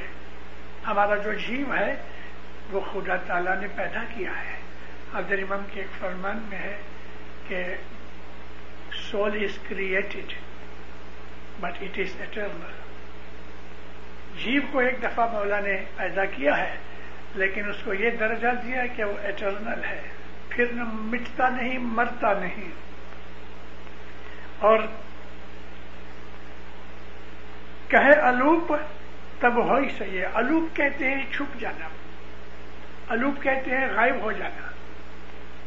अदृश्य हो जाना। और वो जो परवरदिगार है, वो है। लेकिन अलूप है मतलब कि आँखों से दिखता नहीं। वो अलूप होता है, मगर हर जगह मौजूद है। और उसके इस खेल तमाशे में कि कभी वो ज़ाहिर होता है, कभी छुप जाता है। इसको पिशमस ने एक बड़े अच्छे तरीके से कहा है। शैल छबीला सुनो अलबेला। मैया तू मन बिच लावो मेरे साहेब, अब तेरी मोहब्बत लगी। छेल छबीला, जो घड़ी छुप जाता है, कभी दिखता है, कभी नहीं दिखता, कभी ये रंग है, कभी वो रंग है, इसका समझना इजी नहीं। एक एक सूफी ने एक गाना गाया है। बेचारा मर गया दो तीन साल पहले। दूसरत फतेह अली खान। वो सूफी था। अली का आशिक था। अली के लिए बहुत कुछ बोला है। लेकिन अल्लाह की शान में भी कुछ बोलता था। एक दफ़ा उसने खुदा को कहता है कि तुम एक गोरख धंधा हो। खुदा को कहता है। गोरख धंधा यानी पजल हो भी और नहीं भी। समझ नहीं आती कि तुम क्या हो। यही वो चीज़ है कि जो फिर सदरदीन यहाँ माँ बाप फरमा रहे हैं कि अः मौला तो कभी अलूप हो जाता है, कभी ज़ाहिर हो जाता है। रब जहाँ तफसीर जहाँ हो रे भाई, इतना अच्छा लफ्ज, ऐसे अच्छा मज़ा आ गया, तफसीर जहाँ। कुरान शरीफ को समझना कहते हैं तफसीर। तफसीर कहते हैं इंग्लिश में इंटरप्रिटेशन तो यहाँ कहते हैं कि ए रब जहाँ जान जान की तफसीर बन जाए। यानी इंसान की जो जान है, वो हकीकत में रब की शनाखत है। रब जहाँ तफसीर जा होई, ता बूझे बूझन हारा कोई। इस चीज़ को समझने वाला कोई कोई है। तफसीर जा मैं इस पर कुछ एक्सप्लेनेशन देना चाहता हूँ। तफसीर अरबी में समझ को कहते हैं। और जान की समझ जब खुदा बन जाता है कि हमारी जान क्या है? हमारी लाइफ क्या है? मौला मुर्तजाली फरमाया कि जो शख्स ने अपने आप को पहचान लिया, उसने खुदा ताला को पहचान लिया। खुदा की शनाख्त करने के लिए खुद की शनाख्त करो पहले। सब कुछ अंदर है। अंदर पहाड़ है, दरिया है, समुंदर है, सूरज है, चाँद है। जो कुछ भी सारी खुदा की क्रिएशन में है, वो सब हमारे अंदर है। सुबह की इबादत इसलिए दी गई। वो तो सिर्फ़ एक रास्ता बताने के लिए है। सुबह की इबादत काफ़ी नहीं दिन के और भी वक्तों में थोड़े थोड़े टाइम के बाद इबादत करते रहते हैं। आज की दुनिया के लिए ये भुज निरंजन का रास्ता बराबर नहीं है, इसलिए बराबर नहीं है कि सब लोग नहीं कर सकते। धंधा भी करना है, बच्चे बड़े करने हैं माँ बाप को संभालना है, दुनिया रखनी है, टेलीविज़न देखनी है, सिनेमा जाना है, ये सब मौज शौक भी करने हैं खाना पीना भी है, कपड़े लत्ते भी हैं। उनके लिए ये रास्ते नहीं है। ये रास्ता उनके लिए है कि जिनको सिर्फ़ वो चाहिए। और उसको अगर चाहना है तो बाकी सब कुछ छोड़ना पड़ेगा। तफसीर जान ये है, जब वो एम बन जाता है, जब वो ऑब्जेक्ट बन जाता है, जब वो हमारी डेस्टिनेशन बन जाता है तो फिर बाकी की सब चीज़ें अधूरी रह जाती है। रहता है दुनिया में जेली की तरह, एक प्रिजनर की तरह, मगर उसके ख्याल सब वहाँ होते हैं। सूफी और जो मिस्टिक्स जो है, उनकी ज़िंदगी पढ़नी चाहिए, उनके हालात पढ़ने चाहिए, ताकि हमें पता लगे कि हमारा मज़हब क्या है। रे तू ही मेरा साचा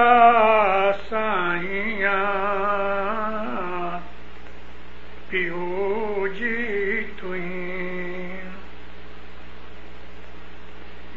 रंग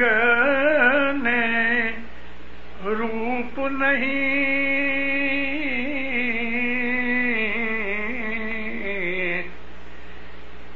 भाई जने, रंग ने रूप नहीं नहीं कुछ नाम ने ठाम रे। भाई नहीं कुछ नाम ने ठाम। सो गुपत प्रघट भय। ए भाई, सो गुप्त प्रघट भय। लाख धरो तिस नाम रे। भाई, लाख धरो तिस ना न उसका नाम है? न रंग है? न रूप है, न फिजिक है, कुछ पता ही नहीं। छुपा हुआ है। लेकिन जब वो प्रकट होता है, ज़ाहिर होता है पियर होता है, अब उसको जिस नाम से चाहो पुकारो, लाखों नाम बना दो उसको। हर नाम उसका नाम है। अल्लाह ताला कुरान में कहता है, खुदा के बहुत से नाम है, किसी भी नाम से उसको याद करो। रहमान कहो, रहीम कहो, रब कहो, खालिक करो, कुछ भी कहो। वो अकेला है। वो हमारा महबूब है। वो हमारा माशूक है। वो हमारा स्वीट हार्ट है। वो हमारी जान है। वो हमारी ज़िंदगी का मकसद है। वही सब कुछ है। हम उसके अंदर फना हो जाए। ये बूझने है सुखी आबाद रहो मौला आपकी नेकुमत पूरी करे। हकीकती समझ देवे। अपना इश्क मोहब्बत देवे। अपनी समझ देवे। दीन और दुनिया के अंदर आपकी मदद करे। बदियों से, बुराइयों से, गुनाहों से, खराबियों से, शैतानियत से बचा के रखे। मौला हर नेक उम्मीद पूरी करे और अपनी शक्ल दिखाए, अपना नूर दिखाए, अपना रंग दिखाए, अपना आप दिखाए। आपके दिलों को बोला अपने मोह से भर दे। सुखिया बात Khanabadad, Khanabadad. Amen, amen. Ya Ali Madad. Alwise, Rai Aboli Missionary, wise 629. May 10, year 2002. My wise and Richmond Jamaat Khana of Vancouver. This is the third installment of Bush Engine. Bhujni Ranjan. Yali Madat.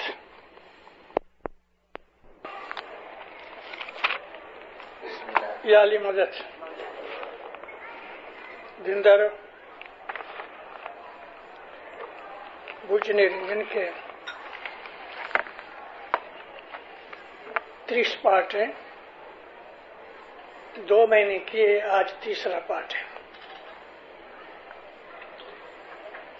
देखें जब कभी खत्म होती है लेकिन आज के पाठ में बड़ी भेद की बातें हैं। भेद यानी मिस्ट्रीज इस सदरुद्दीन ने माँ बाप ने जितने शास्त्र लिखे, ग्रंथ लिखे, उसमें दो किताबें टॉप मोस्ट हैं। मैंने लास्ट टाइम इंट्रोडक्शन में कहा था, एक गिरभावली कि जिसको समझना ऑर्डिनरी आदमी का काम नहीं, वजह यह कि 60 परसेंट संस्कृत है। और संस्कृत 600 बरस पुरानी। अभी तो संस्कृत में बहुत से फेरफार हो चुके हैं। और दूसरी जो मिस्टीरियस किताब है मिस्टिक्स की, वो ये है बुझ निरिंजम इसमें ऐसी चीज़ें हैं कि जो ऑर्डिनरी आलिम लोगों को भी इस्लाम में या सूफीज़म में खबर नहीं है। तो मैं लिंक कायम करने के लिए जो लास्ट वरानी थी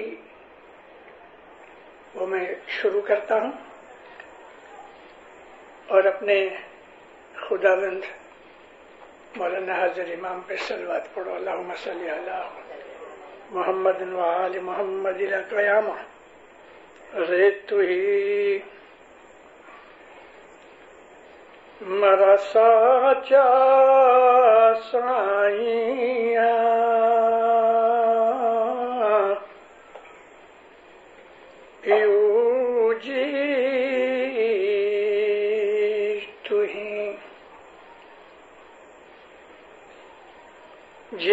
रंग ने रूप नहीं।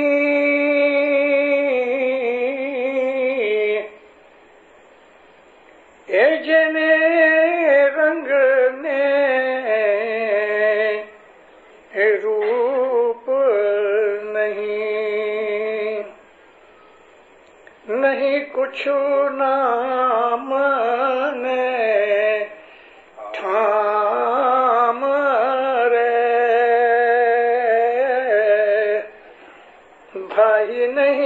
नहीं कुछ नाम ने ठाम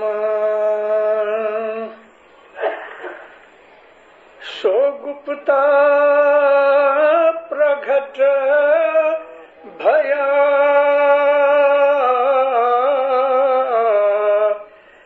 ए भाई सो गुप्ता प्रगट भया धरो तिस नाम रे। भाई लाख धरो तिस नाम। खुदा की जात की बात करते हैं। ये किताब मैंने आपको पहले से कहा कि ये सूफियों की किताब है और सूफियों को खुदा की शनाख्त होनी चाहिए ये जो सूफी हैं मिस्टिक्स हैं मजजूब हैं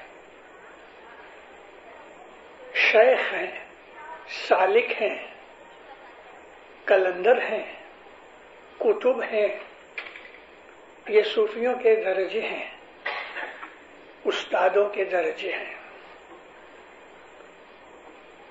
इन सब में जो एक चीज़ कॉमन होती है, वो है खुदा की मोहब्बत। मैं बहुत दफ़ा अपनी आवाजों में कहा करता हूँ कि मोहब्बत जो है, वो वन वे ट्रैफ़िक है। वन वे ट्रैफ़िक कैसे? मोहब्बत देती है, मांगती नहीं। इसलिए मैं उसको वन वे ट्रैफ़िक कहता हूँ। मोहब्बत में सौदा नहीं होता कि मैं तुझे ये दू, तू मुझे ये दे। मोहब्बत में देना ही देना है। इसको कहते हैं सुपुर्दगी, सरेंडर। आशिक जो है, वो सिर्फ़ एक तलब करता है, अपने दिल में, अपनी इबादत में, अपने बिहेवियर में। अपनी ज़िंदगी में उसका एक ही एम होता है। मैं अपने महबूब को, मैं अपने माशूक को राज़ी करूँ, बस। एक ही मुराद और एक ही दुआ उसकी होती है कि तुम मुझ पे राज़ी रहो। अब यहाँ आगे और भी बहुत अच्छी अच्छी चीज़ें आएँगी। ये रंग नहीं, रूप नहीं क्योंकि बदन है ही नहीं। कोई शरीर नहीं, कोई चीज़ नहीं ये ने रंग ने रूप नहीं नहीं कुछ नाम, न ठाम। कोई आदमी है या कोई चीज़ है तो एक जगह पड़ी होती है तो भी फलाने ठिकाने है। इसका कोई ठिकाना, पता, एड्रेस कुछ नहीं। नाम ही नहीं, ठाम भी नहीं, रंग भी नहीं, रूप नहीं। तो फिर क्या है ये? ये चीज़ ढूँढने के लिए सूफी लोग अपनी जाने देते हैं कि ये क्या है। सो गुप्ता प्रगट भया। वो छुपा हुआ है, समझ के बाहर है, लेकिन उसने देखा कि मेरे बंदे जो हैं, वो मजबूर हो गए हैं, यानी मुझे ढूंढ नहीं सके। तो फिर क्या हुआ? अपने आप को उसने ज़ाहिर किया। जब अपने आप को ज़ाहिर किया तो ये सब आशिक खुश हो गए। क्योंकि उसको ढूंढते ढूंढते उम्रें गुजर गई। स्वामी को ढूंढत देखते के ताजुग गया।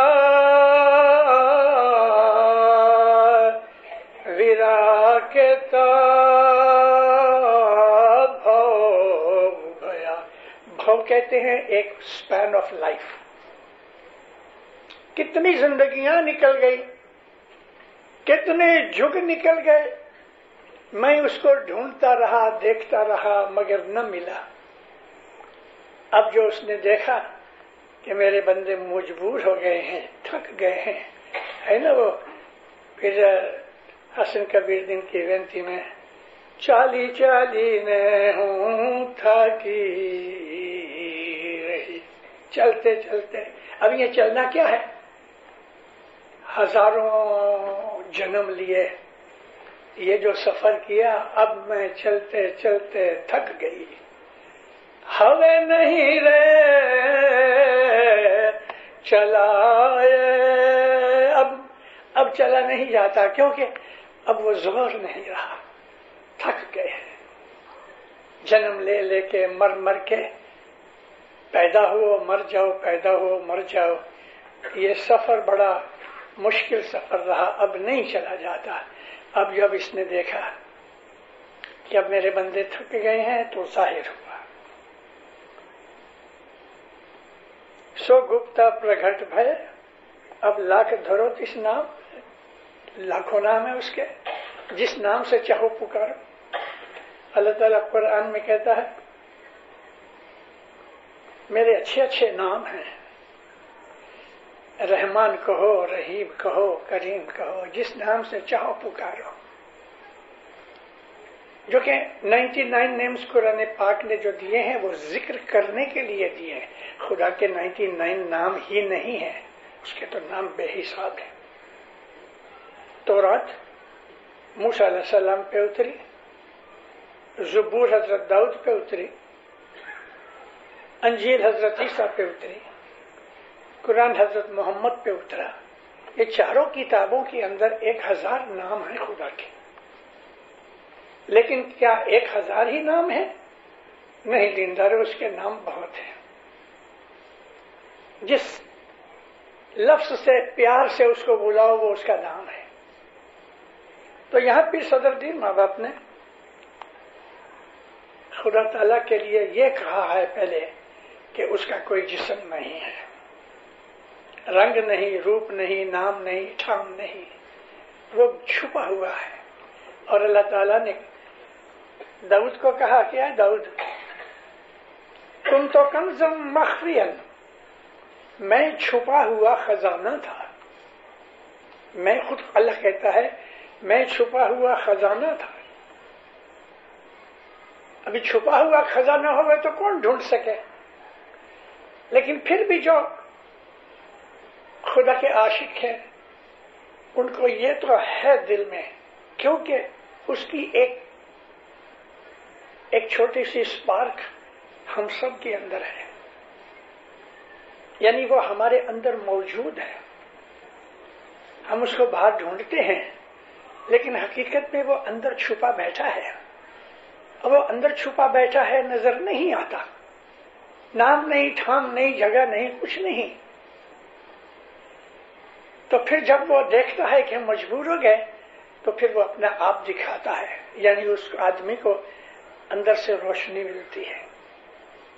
और जब वो पहली दफ़ा उस रोशनी को देखता है ना, बेहोश हो जाता है। बेहोश हो जाता है, अपना आप खो बैठता है। एक मुकाम हैरत में जिसको हम इंग्लिश में बोलते हैं, ओह, ऐसी चीज़ को जिसको देख के हमारा मुँह खुला रह जाए। हम हैरान हो जाए। हम उस चीज़ को अच्छी तरह कॉम्प्रिहेंड न कर सके। वो ऐसा है। लेकिन जब वो चाहे जब वो चाहे तो ही उसको हम देख सके, वगरना नहीं। चलो, अभी हम आज का लेसन शुरू करें। निज नाम निरिंजन, के दो भाती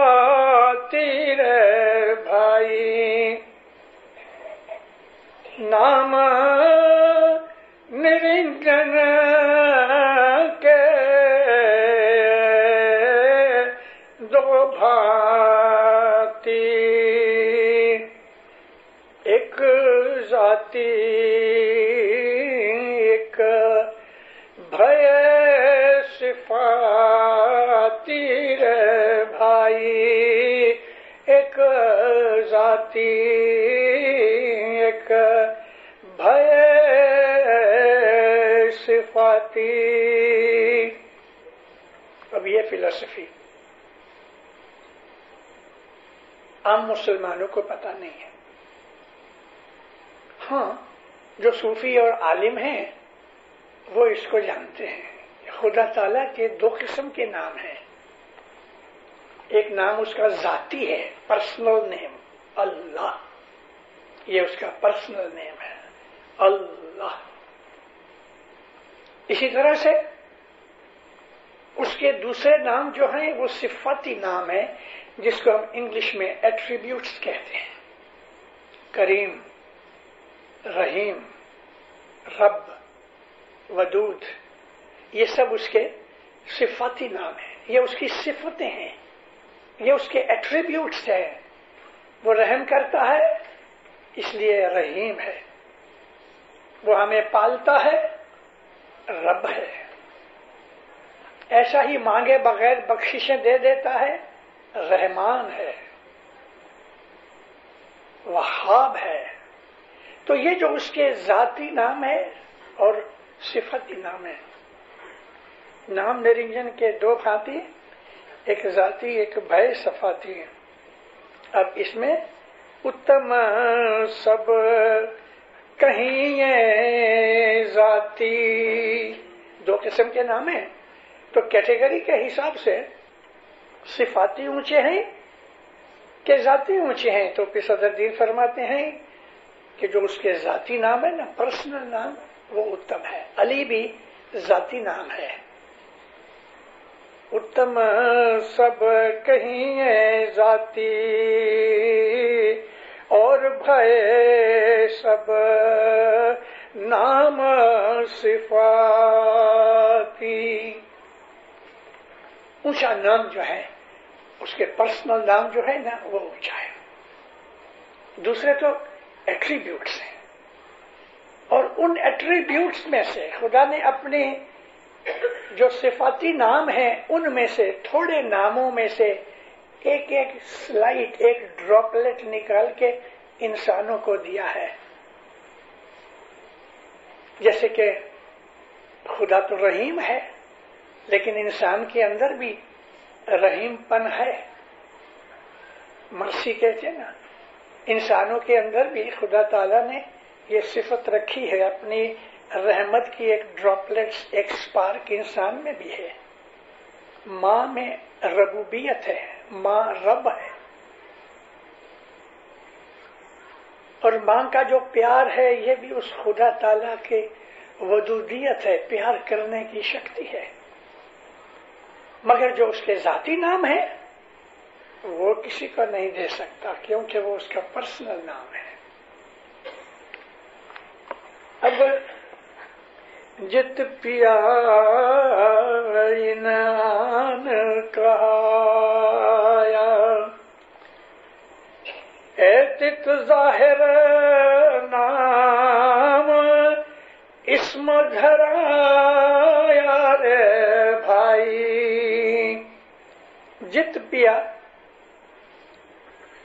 पिया यानी हाजरी मशहूर, नूरानी हालत में, अल्लाह। उसने जो अपना नाम आकर हमको बताया, जित, जहाँ और तित वहाँ ज़ाहिर नाम इसम धर आया। अब जब वो अपियर हुआ, ज़ाहिर हुआ, जैसे कि मोहम्मद की शक्ल में रहमत बन के आया।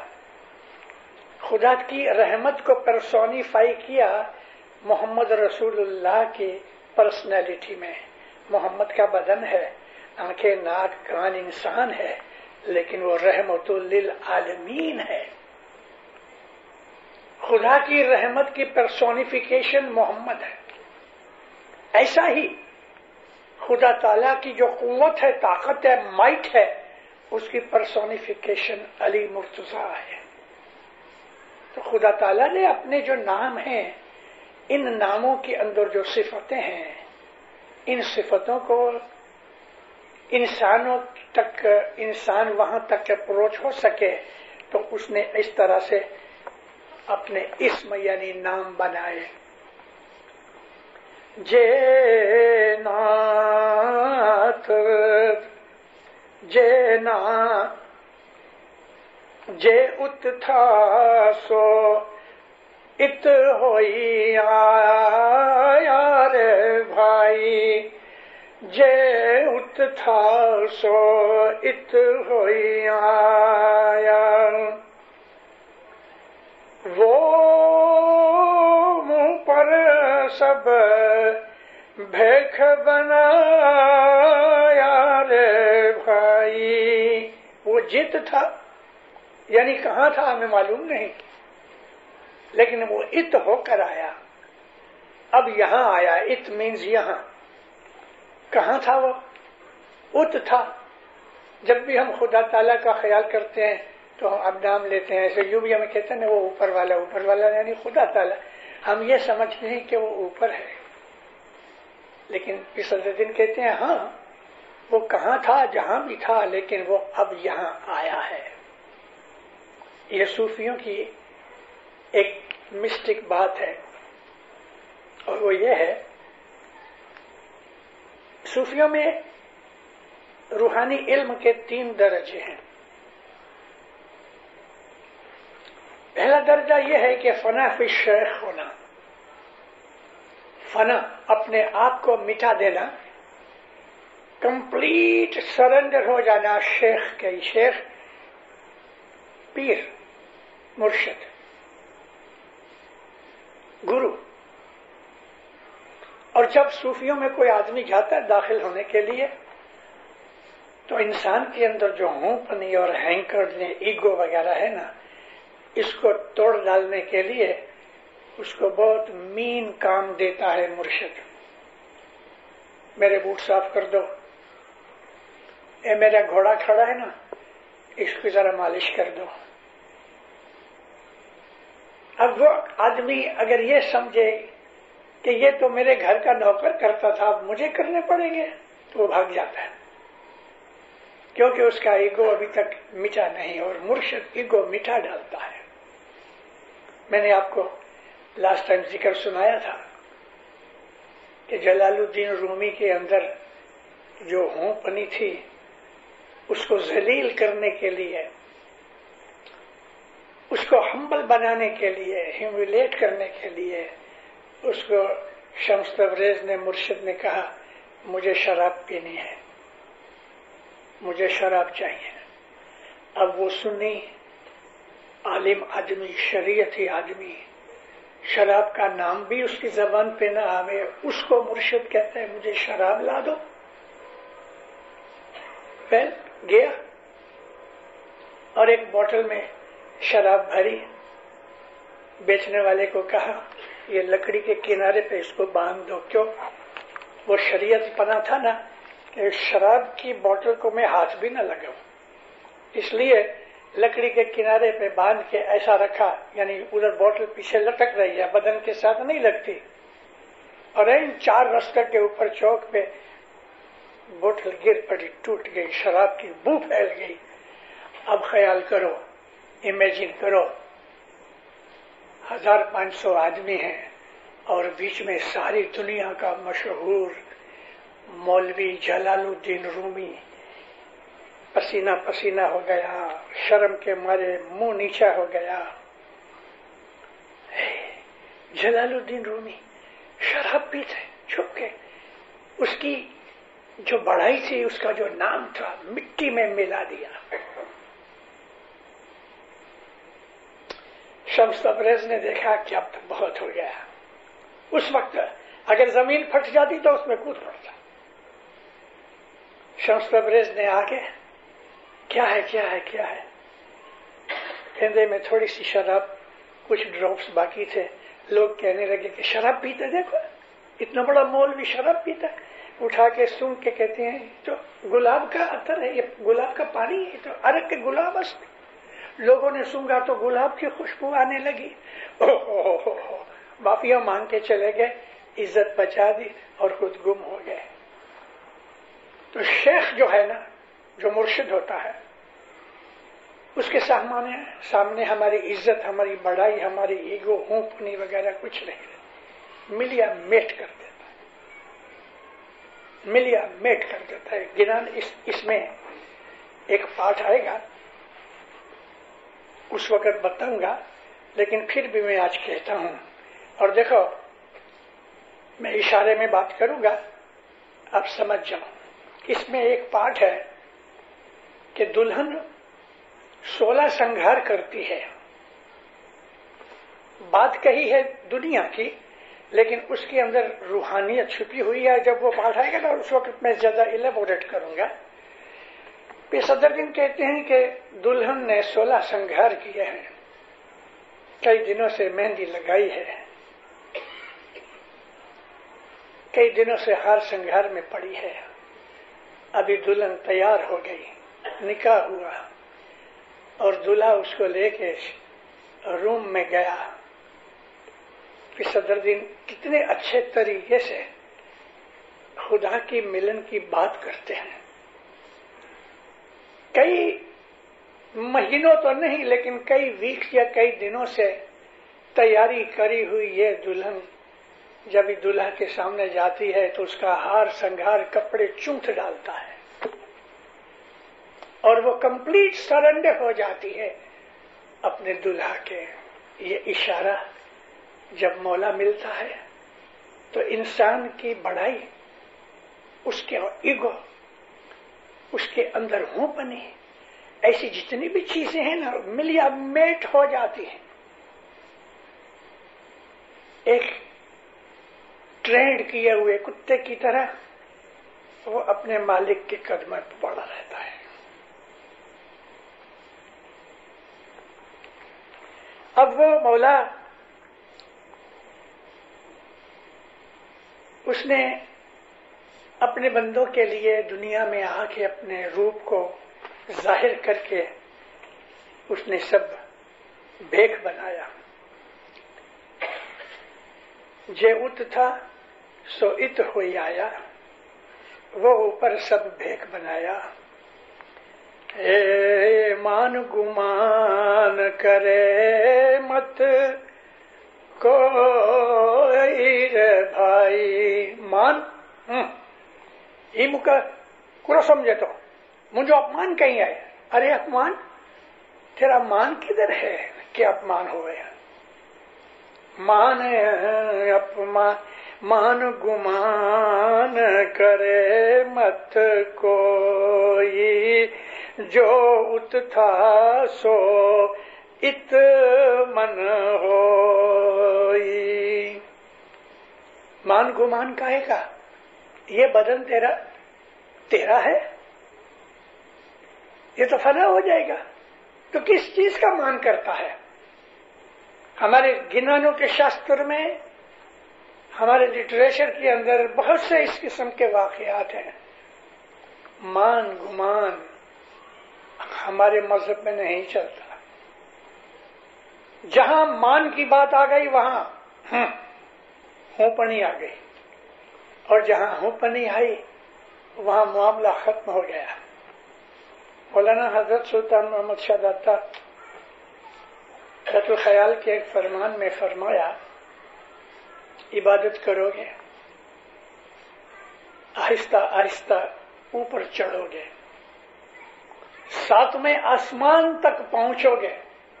लेकिन जरा भी अभिमान किया प्राइड जरा भी किया तो मौलाना सुल्तान शाह फरमाया कि सातवें अमान से, आसमान से निकल के सातवें जहन्नम में चले जाओगे दो में।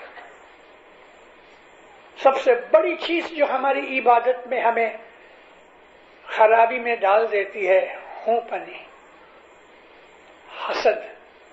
और हसद करने वाले में पनी होती है, इसीलिए हसद करता है। अगर पनी ना हो तो हसद किससे करे? हसद उससे करता है जिसको अपने जैसा या अपने से बड़ा समझे। तो इबादत के अंदर, सूफी तरीके के अंदर मान गुमान कुछ नहीं। और यहाँ जो इंसान आया है पहले कुछ नहीं था। फिर आया, कुछ बन के आया, फिर मिट जाएगा। तो मैं वो तीन दर्जों की बात कर रहा था। फना फिशर मुर्शद के सामने अपने आप को मिटा डालना। फिर है फना फिर रसूल। रसूल की नूर की शनाखत में अपने आप को फना कर देना। और आखिर में आता है फना फिल्ला। अल्लाह की जात में फना हो जाना। तो यहाँ मुर्शद से मुराद हमारा पीर है। मोहम्मद भी पीर है, लेकिन मोहम्मद के नूर से सृष्टि बनी। और खुद हम भी मोहम्मद के नूर में से पैदा हुए हैं। सिर्फ़ हमारा जो रूह है ना, वो खुदा ने डायरेक्टली खल्क किया। तो यहाँ फिर माँ बाप का कहना यही है कि जो तुम वहाँ थे, यहाँ आए हो वापस वहाँ पहुँचना है तो तुम्हारे अंदर मान गुमान नहीं होना चाहिए। हो ही रहा गए फन सो रे भाई। ए लखिया मिटे न कोई रे भाई। हो ही रहा ते फना सोई जो है, वो नहीं। यानी जो मौजूद है कहने का मकसद ये है कि जो है ना, वो मिट जाने वाला है, फना हो जाने वाला है, कुछ नहीं रहेगा।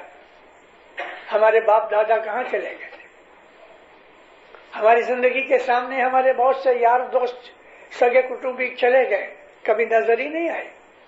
तो पीर का कहना यह है कि जो है, वो नहीं है। हकीकत में नहीं है। क्योंकि वो फना हो गया है।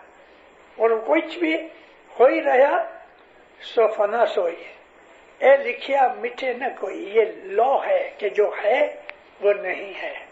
मिट जाने वाला है। कुल्लो मन अफान हर एक चीज़ जो है, हर एक चीज़ मिट जाने वाली है। क्योंकि वो मखलूक में आती है। सिर्फ़ एक बारी ताला की जात बाकी। लॉ है कि जो है वो नहीं है। मिट जाने वाला है। कुल्लो मन अलय अफान। हर एक चीज़ जो है, हर एक चीज़ मिट जाने वाली है। क्योंकि वो मखलूक में आती है। सिर्फ़ एक बारी ताला की जात बाकी रहेगी। ये सब आलम गैब कावे। ए सब आलम गैब कावे जापा की जात कहीं ना जावे। ये जो कुछ भी आलिम है, यूनिवर्स है, दुनिया है, जो कुछ हम देखते हैं, ये हकीकत में आलिम गैब है। जिस तरह हम सपने में जो कुछ भी देखते हैं, हमें रियल लगता है। लेकिन जब आँख खुलती है तो वो खत्म हो जाता है। तो पीर का कहना यह है कि ये सारी जो कुछ भी हम कुछ दुनिया ये आलम देख रहे हैं, ये हकीकत में गैब है, यानी नहीं है। सपने की तरफ़ है। पीरों के गिनानों में यह है कि ये जो संसार सपनों करी जानो हकीकत नहीं है। तो ये सब आलम गैब कहावे पाकी जात कहीं न जावे। ये पक्की जात नहीं है, रहने वाली जात नहीं है। खलकत कोई नाम न पावे रे भाई, खलकत कोई नाम न पावे। सब जो सब जो पाक जहूर कहावे रे भाई। खलकत, यानी क्रिएशन कुछ भी चीज़ जो है, हर चीज़ क्रिएट की हुई है। पीर का कहना है कि हकीकत में जो कुछ भी है, वो नहीं है। ये पॉइंट जरा मुश्किल है समझना। हमारे ख्यालों में है, अभी ये टेप रिकॉर्डर पड़ा है। ये नज़र आता है। लेकिन सूफी इल्म के अंदर ये नहीं है। तो ये है क्या? उसने चाहा कि ये है तो ये है।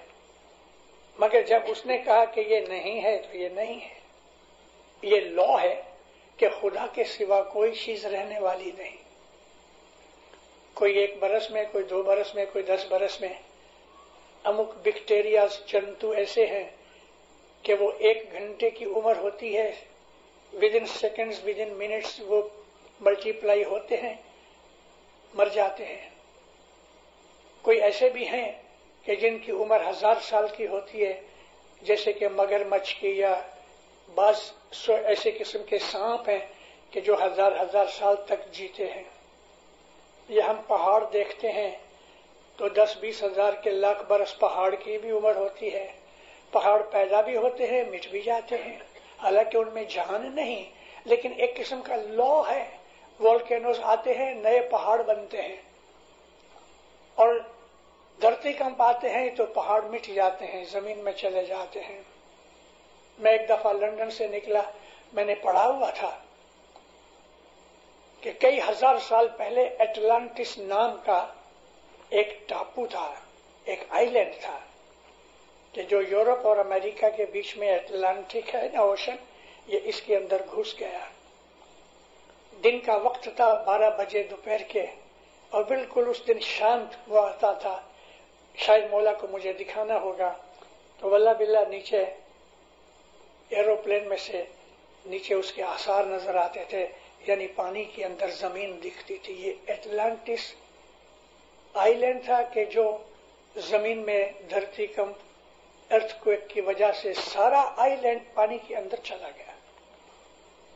यानी खुदा ताला हज़ारों किस्म की मखलूकत पैदा करता है और हज़ारों तरीकों से उनको मिटा भी देता है।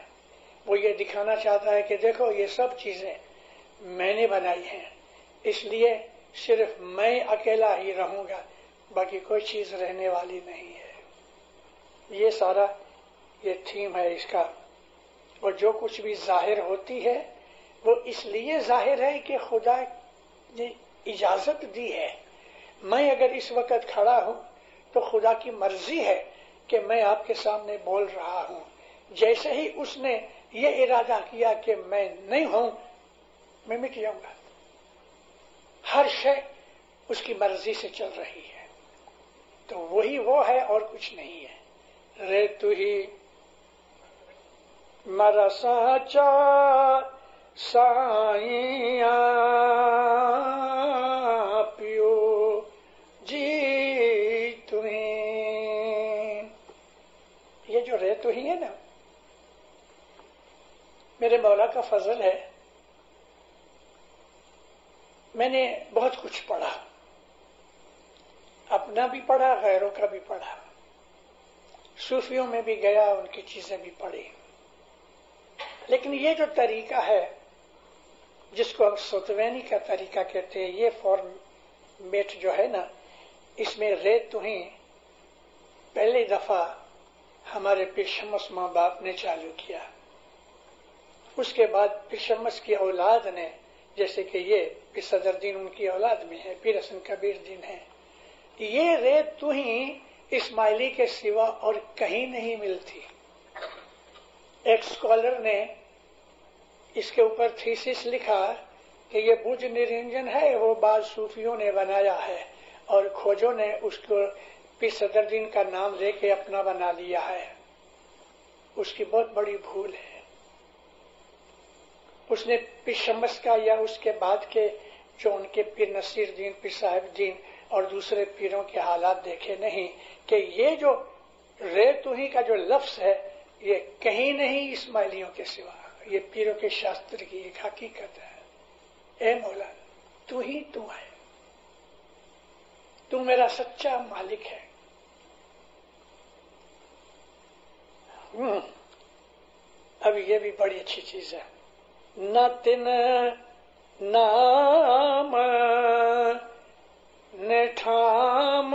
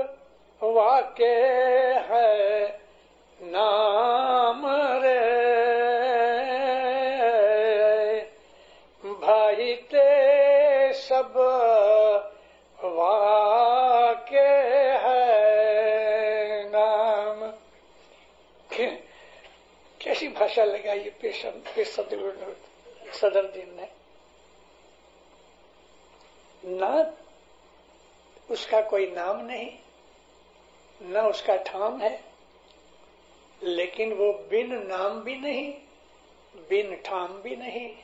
सूफी मज़हब की ये चीज़ें आसानी से समझ नहीं आती। अब कहते हैं, उसका नाम नहीं, ठाम नहीं। फिर कहते हैं, वो बगैर नाम के नहीं है, यानी के नाम है, बगैर ठाम के नहीं है, ठाम भी है। तो फिर है क्या?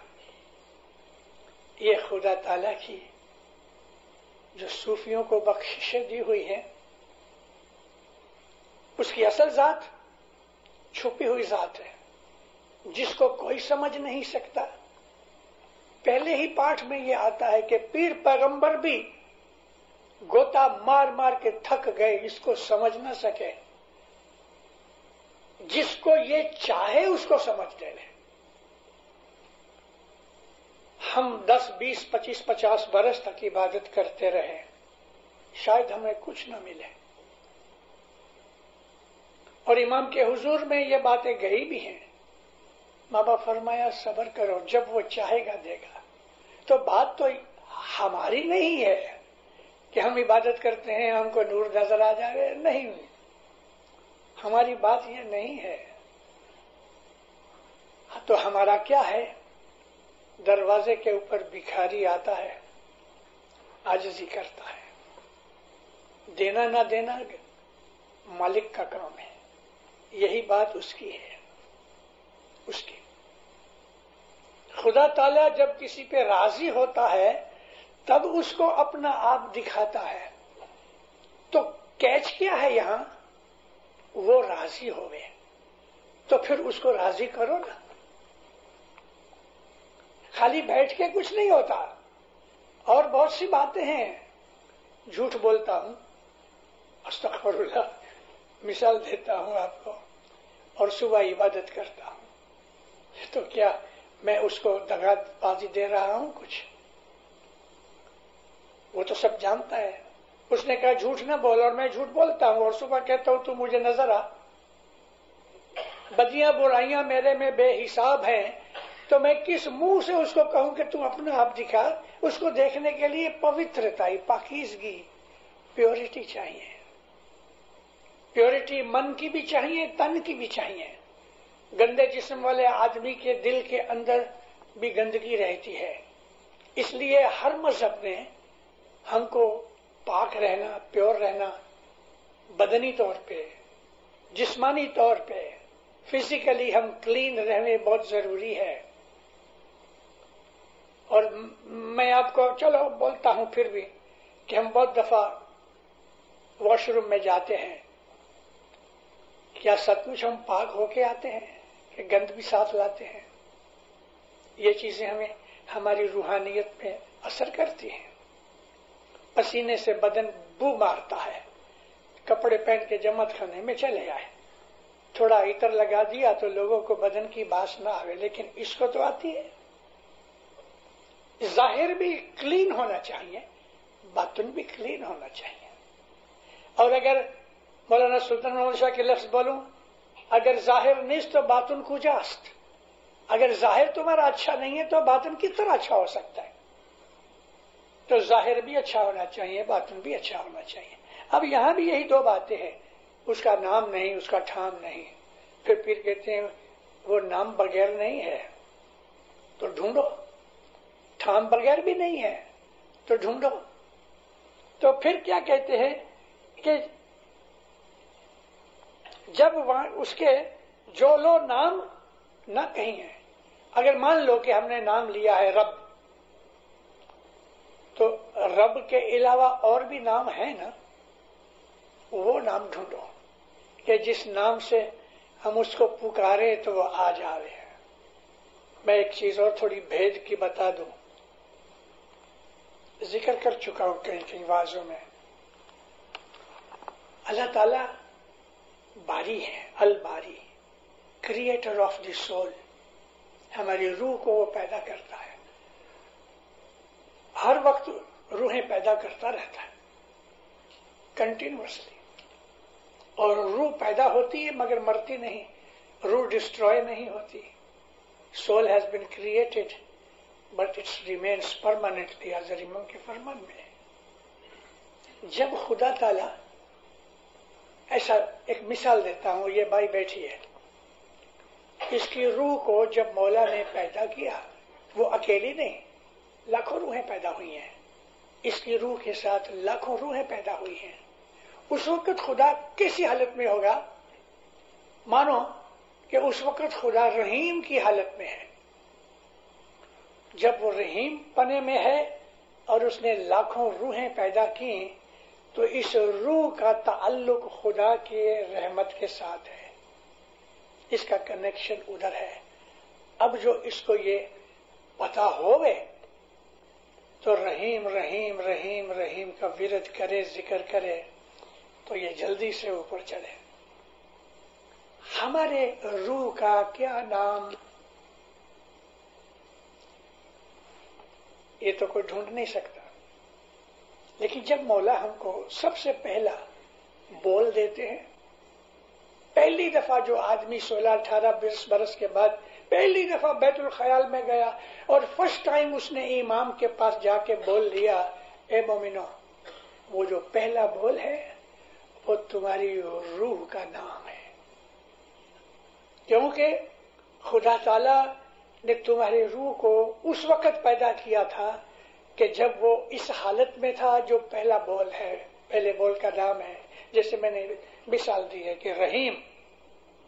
खुदा ताला रब पने में है और रूहें पैदा कर रहा है तो उन रूहों का नाम रब के साथ मिलता है और उसके साथ उसका ताल्लुक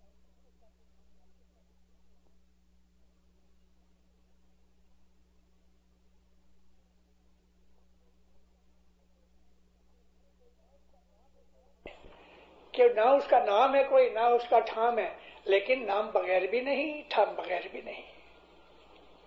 ये सटलिटी जो है, ये जो बारीकी है अंदर समझने की, इसको कभी आराम से बैठ के तो सोचो। बोले आपको सुखी आबाद रखे। दिन और दुनिया में अपनी मोहब्बत में रखे। बदियों बुराइयों से बचा के रखे। शैतान के फरेब से बचा बचावे मौलाना हजर इमाम आपको अपने नूर से दौरवानी देवे। हमेशा हमेशा सही रास्ते पे रखे और हिम्मत देवे कि हम उसको ढूंढ सके। मौला आपको हमेशा खुशी और आबादियाँ देवे। सुखी आबाद रहो। ऐसा।